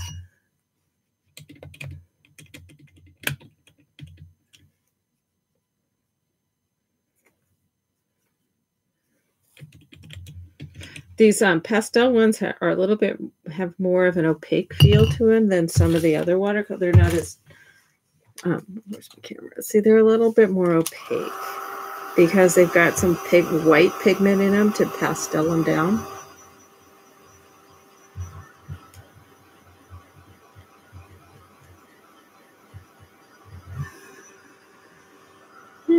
My cast iron fingers can only go so far.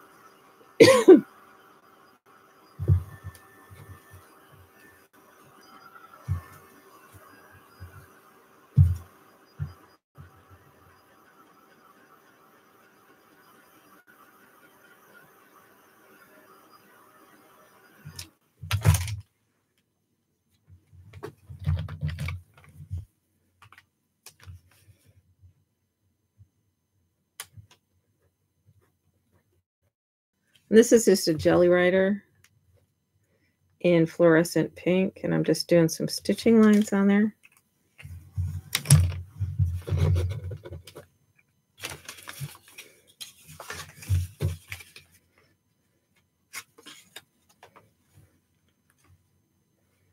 So that little tag you know, I totally get into doing all these little foofy details.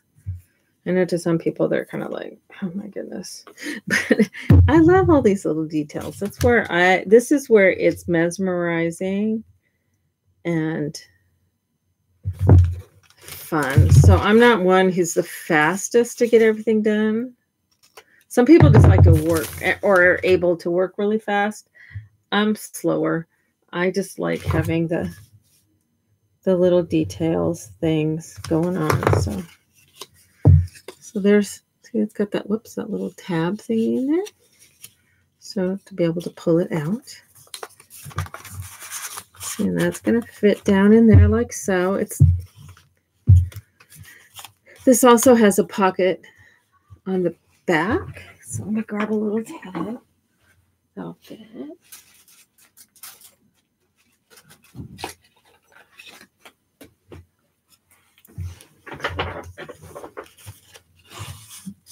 So that's a little tag that'll fit in there. Let's see. Eh. I'm just going to tie it in a bow for right now. I might change my mind to take it out. I like the shipping tags with the the string on. All right, so then, so we're getting there. Eh, I'm not, the, as I said, I'm not the speediest, but I enjoy the detailing. So, and then we're going to put something inside of there.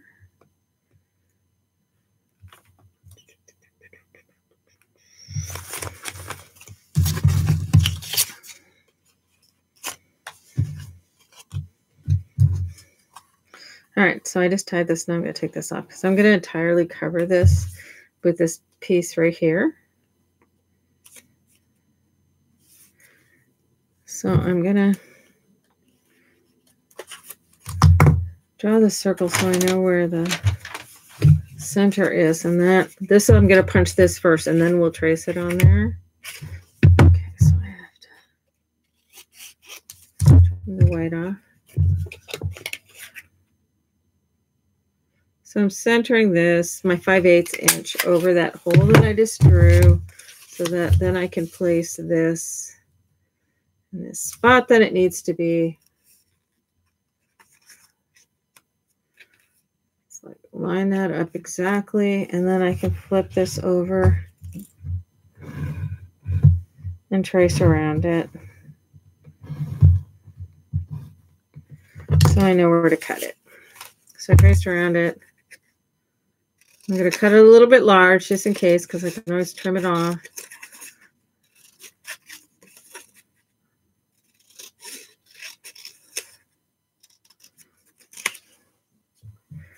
Going to put this on the shinier side.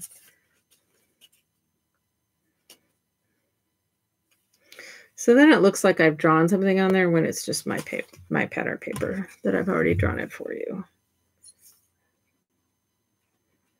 So, you know, it just your your paper choices can make it make you you can fake it a lot better. Does that make sense?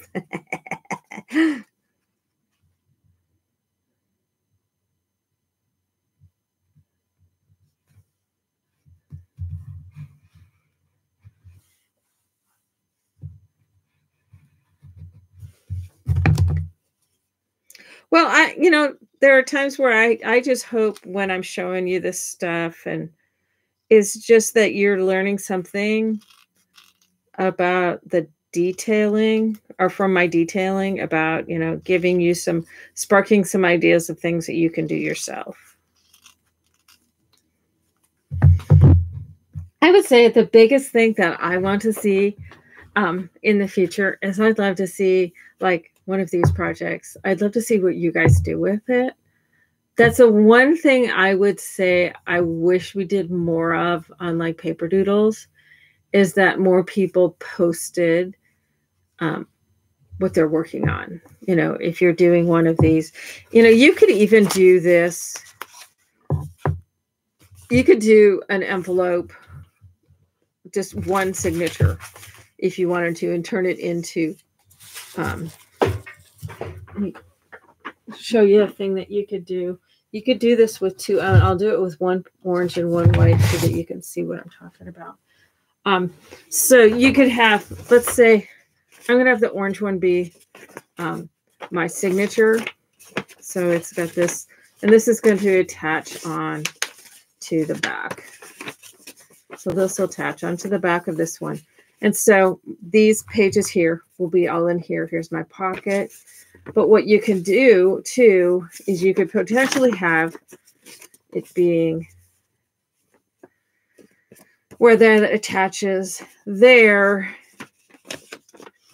And then it's like it has a back on it.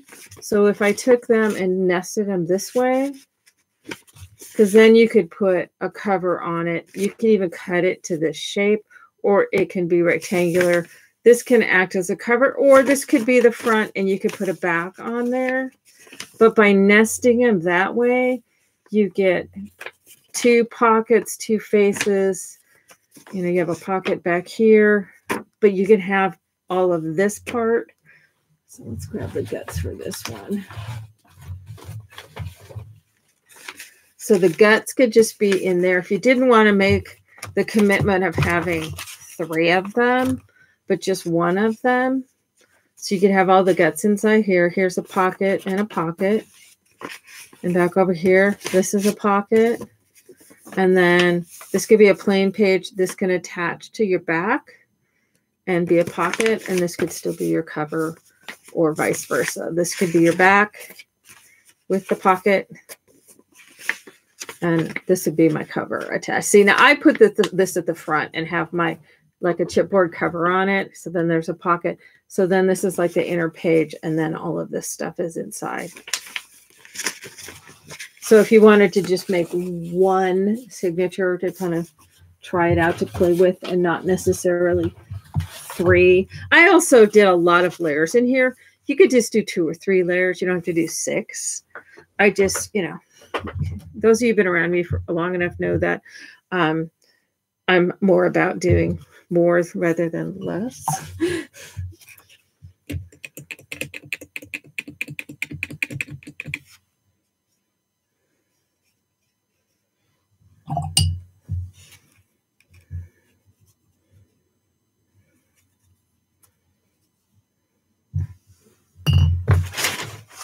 And if you get too much on there,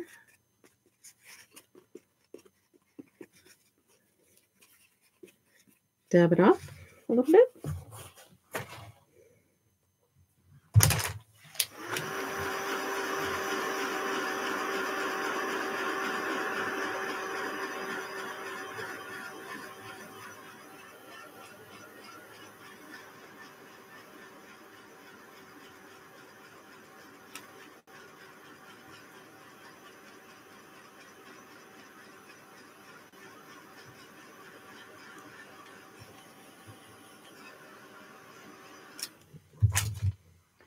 But see, I'm not doing anything super complicated um, other than, you know, adding a little watercolor to the back. So it's not, you can, you can do the same thing with sprays or with your distress or something like that. I just, you know, have the watercolor out and just add it onto there. So I can just pop that in there like so. I'm into, you know, drawing with black lines that aren't perfect because I love I just I don't know just I love it. So maybe I'll just do some hash marks and a dot, a couple of dots. Not all the way across, but see just adding some little those are me. You know, those are parts of me by putting that little bit of yourself in there. Nothing uh too fancy. Come on, dry.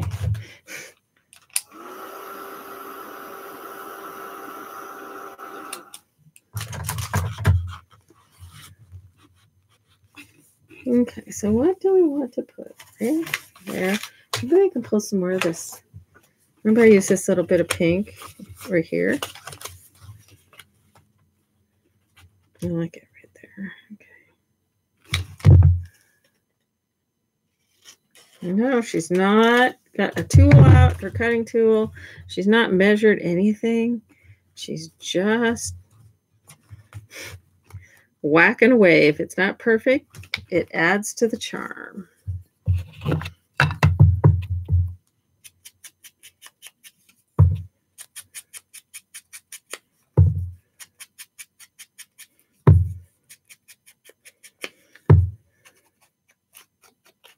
But this summer, with the summer camp classes that we've got coming up, um, I think it's going to be fun, and we will um,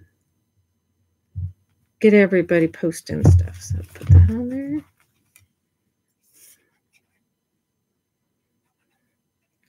But like the summer camps, they'll be a week long of vid, you know, videos releasing each day. So the videos are you're not waiting around for me getting hung up on stuff because the videos will be done before I put it up.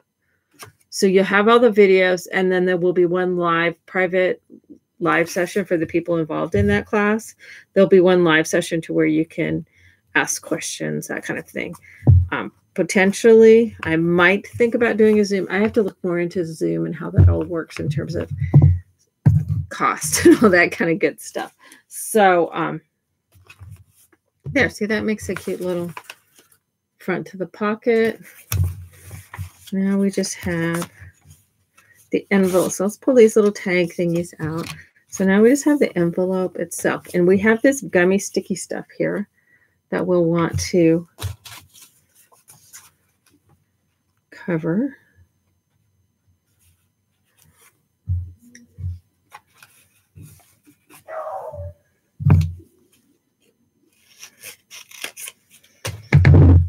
So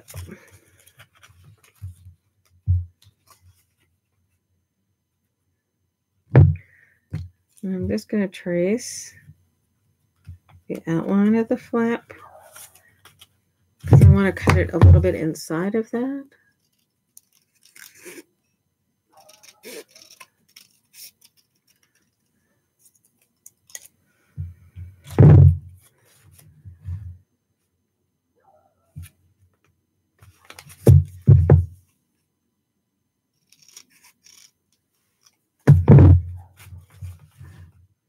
And I'm just covering on the flap. I'm not taking it down inside, which I should have done. Maybe I still will.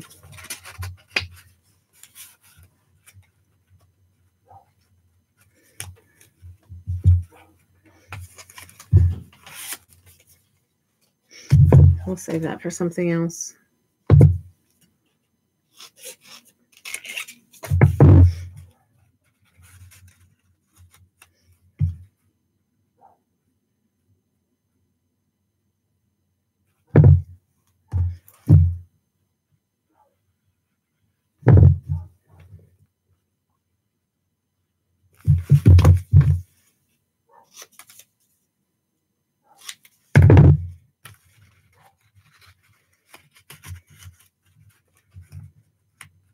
Anybody want a cute, noisy dog?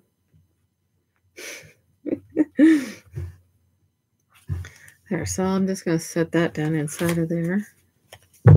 Maybe round this off just a squidgle.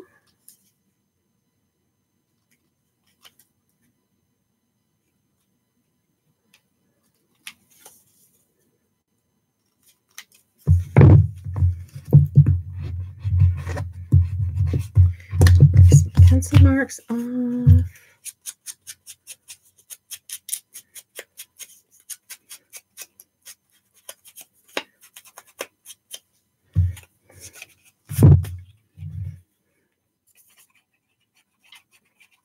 And I'm not going to be folding this flap again, so I don't have to make sure there's a fold in here. I'm just sticking it in there, and it's because I've got a tag in there that's tall. So it'll just make it to where this is like permanently not flapping down. So now we can do something on here.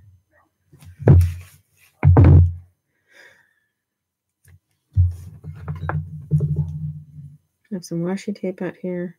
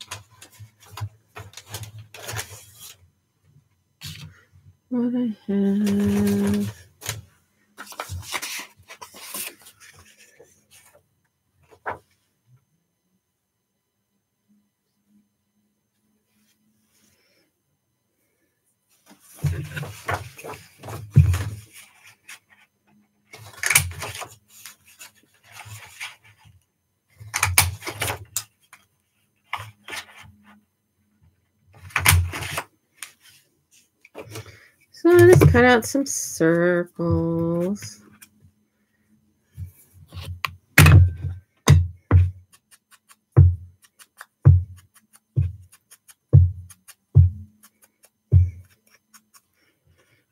See, so even though I'm doing this for me quickly and loosely, it's still not.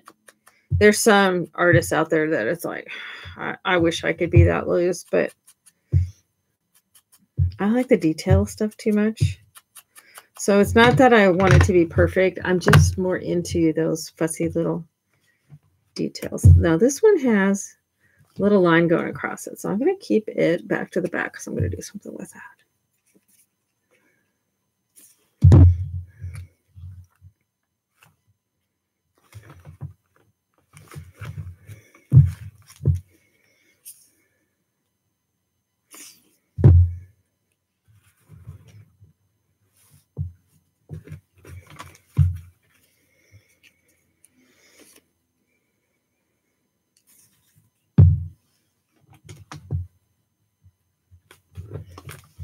So just those little guys, I'm gonna just take and I'm gonna circle around them. Doesn't have to be perfect.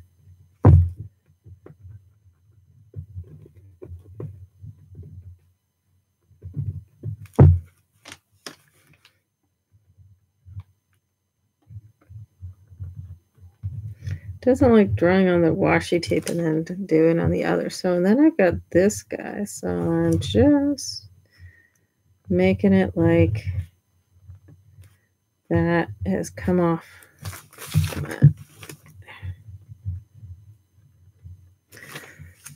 That one was too skinny for that. So now see how good at tracing I am.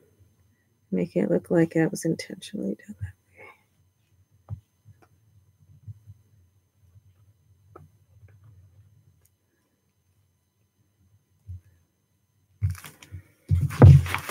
So I just incorporated that that thing that was going across that one into a mark on there. So then I can also take my white and world's greatest, the Uniball Signo. Uniball in white is the world's greatest pen ever. Because it kind of will mark on anything.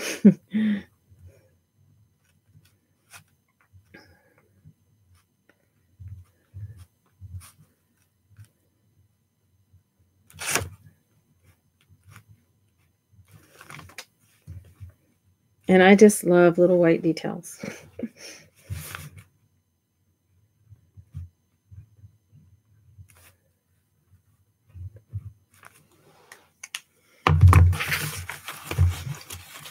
so that is, you know,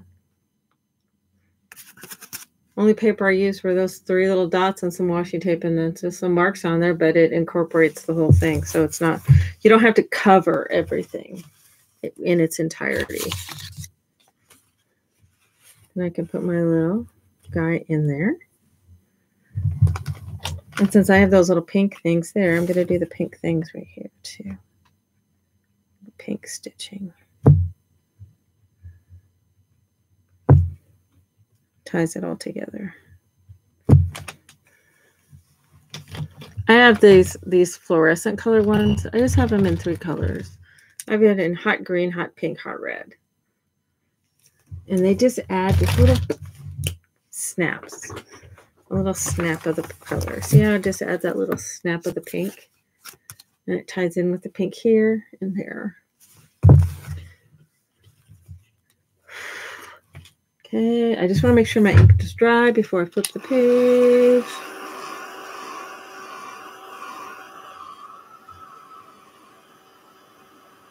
I'll just show you my treasures from from uh, Portland. My uh, we went into some antique stores and I got some vintage books. So before this is over, don't don't let me forget. I'll show you my little my book treasures. So. All right, so then we just need to do this guy back here. I like the washi tape thing.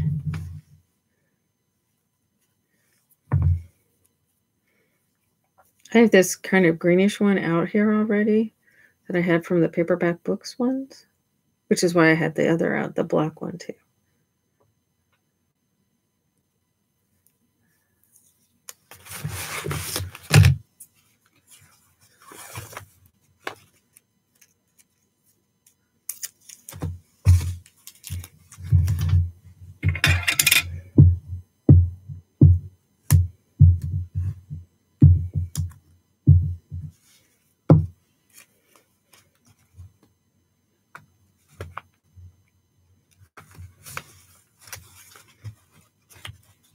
But it's got some polka dots on it, just like the pattern paper I put on the front of that little pocket has.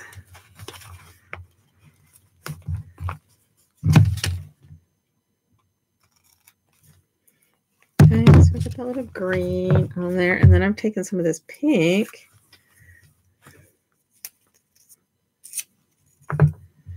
I'm just going to tear it in half-ish. Don't want it to be perfect.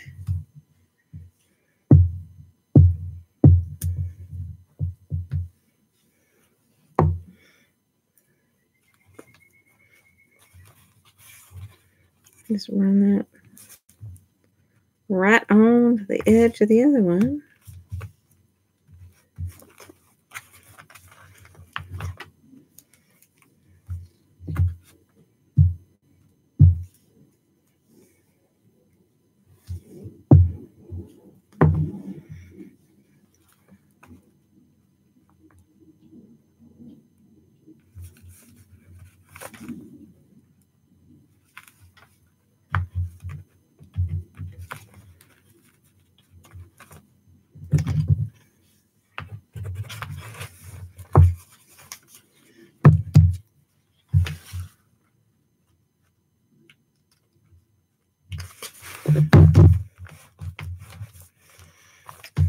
So just a couple of strips of washi tape, and that's added that to that because it's going to get covered over too by a by a, um, the little tags sitting in there, but you don't want it to be naked.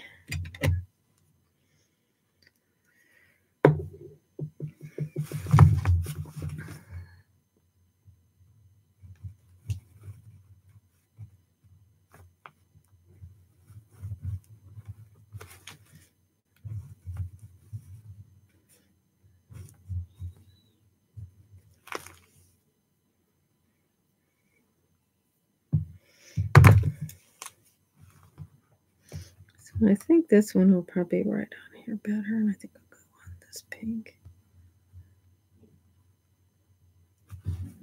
So I'm wanting to go on each side of this polka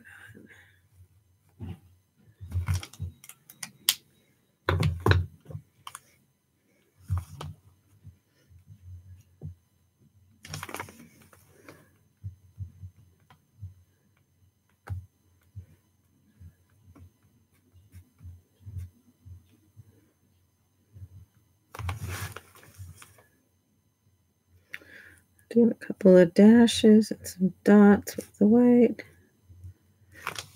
I just love letting, it's just those little fussy details that, that I like on there.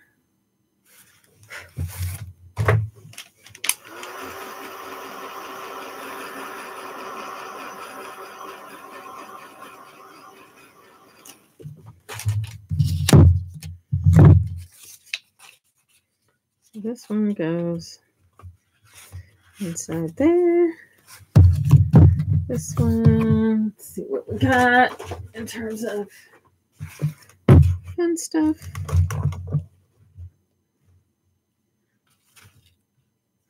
That one's kind of cute.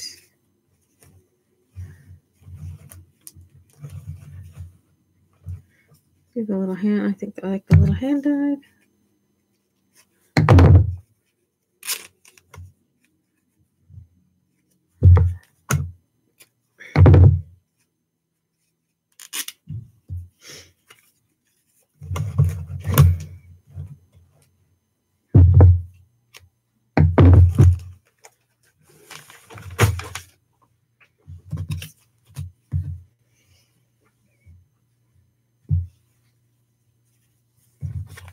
This is just some little hand-dyed fabric strips.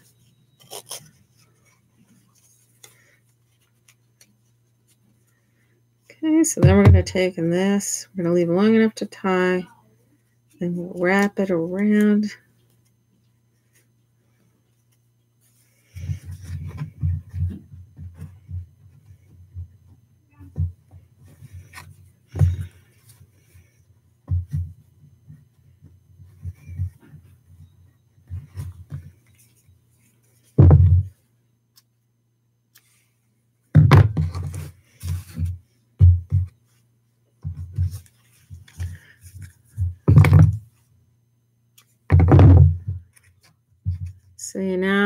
Those yarns and fibers and cords and stuff.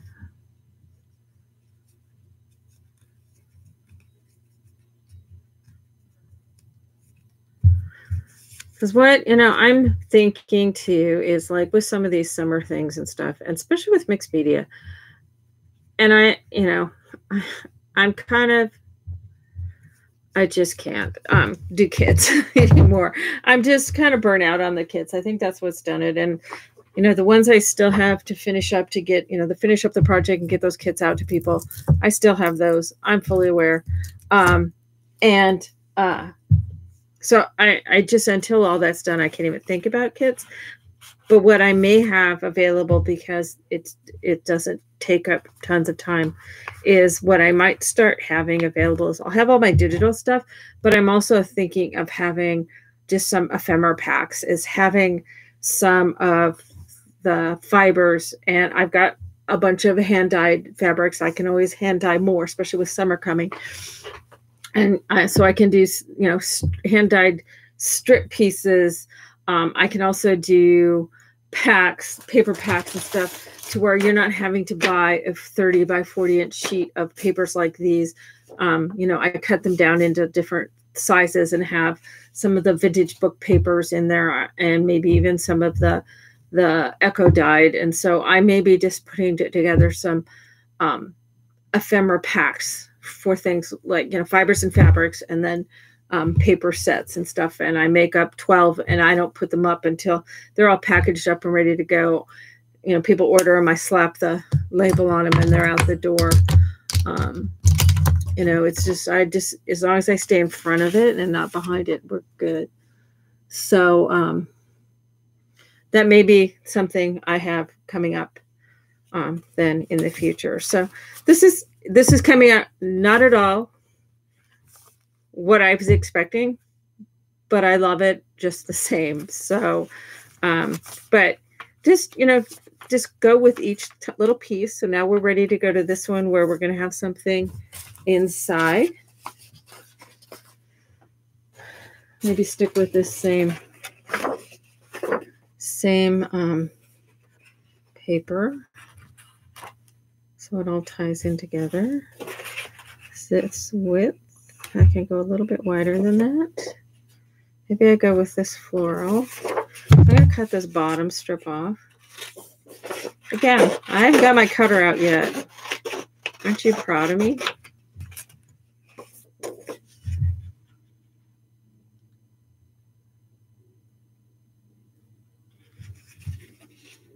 Hi, Darlene. We're glad to see you.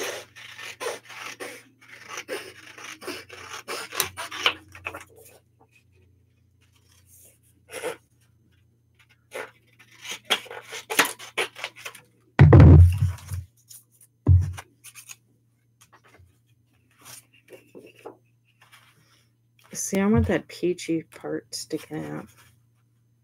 So I'm going to cut approximately along there. I mean, this is not having to be perfect. If I wanted it perfect, I could. I'm eyeballing completely, is not super smart. I should at least kind of give it some fold type action.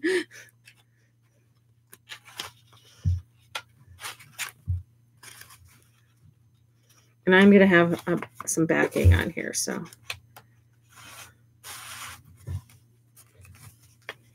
see, and I don't mind that sticking out. It's not going to hang out beyond this edge. So I'm good with that. I like it. And I like how it's peeking out through the window there. Okay. So I can either keep it, and let's see if it can go a little bit narrower.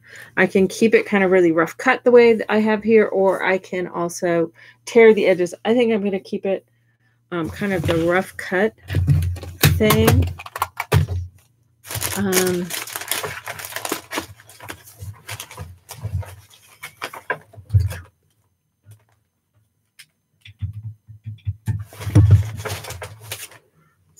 where I have my extra pieces of, excuse me, as I reach across here. reach it from there. It's behind the computer.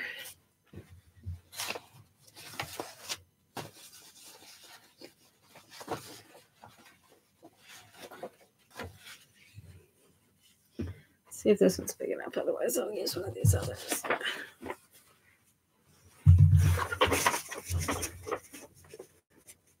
Now, see, it's not quite big enough. So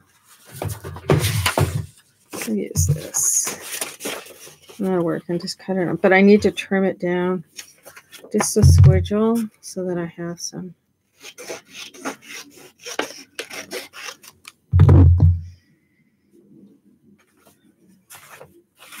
All right, so this thing can be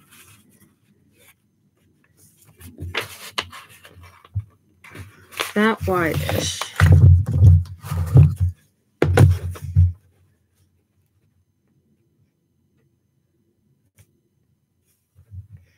come over a little bit.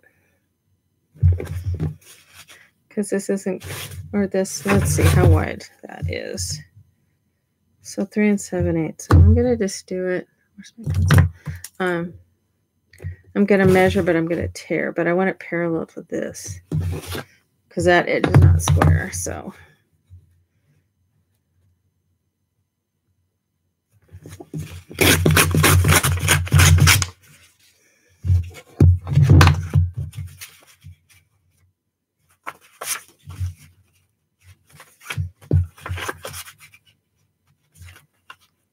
I kind of like that top edge not being square, so I'm going to keep that and just trim this here at the bottom.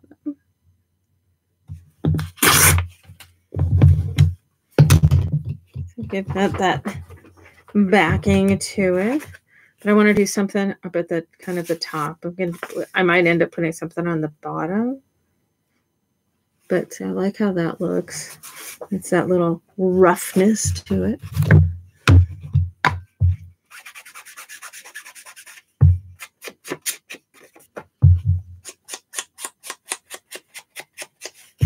No, she has not overcome her dislike of stripes. She likes dots, so.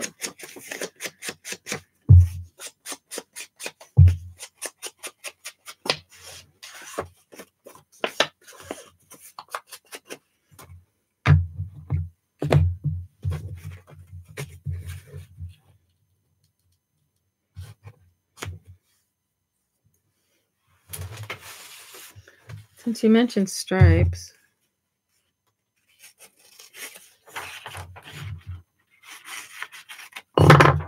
Except Joy wouldn't consider the stripes.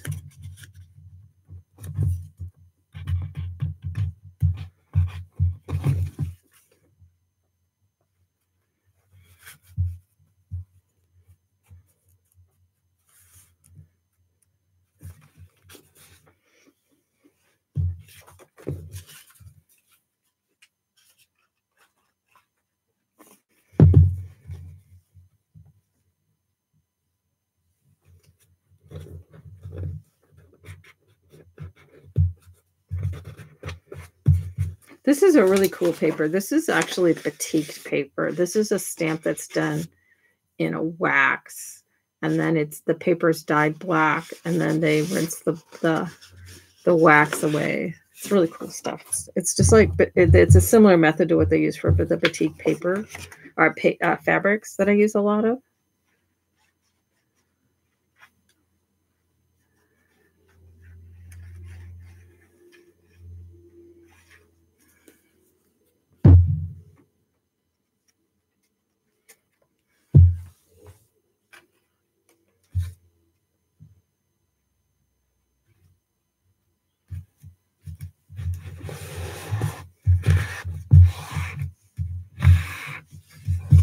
Oh, I ran over half an hour, didn't I? It's six o'clock, and I was only doing three thirty to five thirty. I probably should get as soon as I get this tag done. Now I'm going to leave that open because I still don't know what I'm going to do on the back, but at least we've got this tag, this large tag done, and I will probably with some word type stuff. Um, I'll probably put a quote on here. Maybe I'll have it to where the quote goes this way so it, it shows up in the window.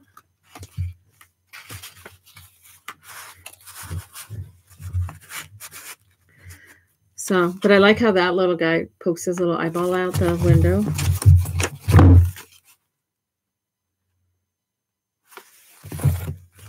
One of the things I don't like is I don't like this blue hashing in here.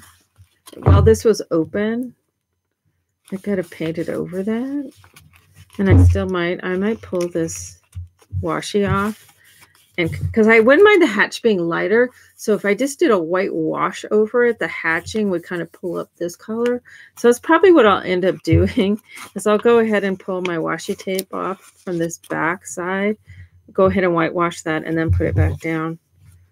And then the tag goes inside.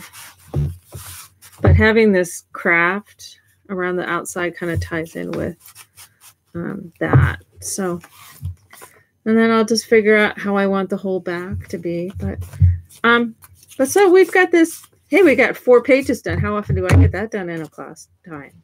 So um, we'll just keep keep on working on this. I'll probably work on it. We'll probably work on it then again next Friday.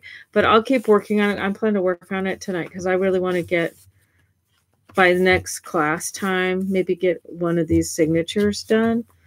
Um, but these these are lots of fun. So anyway, I hope you guys all have enjoyed um the uh low key class today of for National Scrapbook Day, keeping it just um loosey goosey, nothing too structured because that's kind of where I'm I'm capable of right now. Um, uh, I'm I'm just enjoying enjoying having that um, lower pressure on myself. I guess is the best thing to to phrase it is um, letting myself loosen up and lighten up, but still be able to do all of the details. It doesn't have to. The biggest thing is it doesn't have to be perfect. It just has to be you. So, you know, make some mark with your own hand in a tool somehow. Um, and throw a little paint on there if you want. Um, use here I've you know here's my own digital papers. You can use other digital papers. You can use um, commercially printed papers. Look for ones that are much more um, look hand painted. You can also get the ones that are very vintagey looking. Um, just kind of depends on the theme of what you want to do. Um, but biggest thing is just we're in this for enjoyment and relaxation and for ourselves. So do do it for yourself and just have some fun with it. I think it's the biggest thing. Um, it's it's done a lot for me personally doing these kinds of things. I know a lot of people love the 3D. We have the 3D coming up because this whole thing is going to fit into a um, a suitcase for fairies. So this kind of has the fairy coloring to it, the fairy watery feel to it.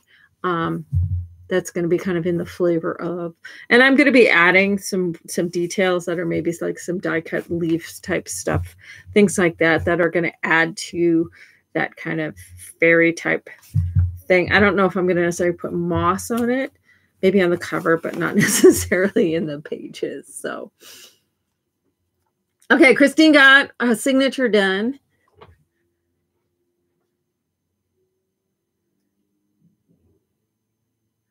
Alrighty, guys, I'm going to let you go. Hopefully, I will eventually figure out a way to have the two cameras.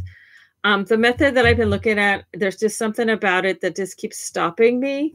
Um, and so um, I'm still looking to see what I can figure out that works with this Chromebook where I can have two cameras, but we'll get there. Until then, you know, you don't get to see me smiling at you. You just get to talk to the hands, and I, I hate that. So, um, but I do thank you for out of this really busy day. Saturdays are busy for most people anyway. Um, but there's a million and two people doing um, live streams on YouTube and other places um, today for National Scrapbook Day. So I appreciate you taking some time out of your day and joining me here in my studio. And I hope you enjoy this um, uh, revision to this old favorite. Um, when I went to look at look at it, and I realized how many it has almost a quarter of a million views.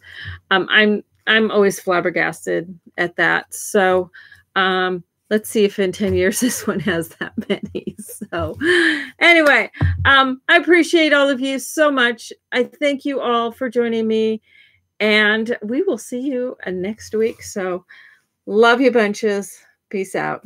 Bye for now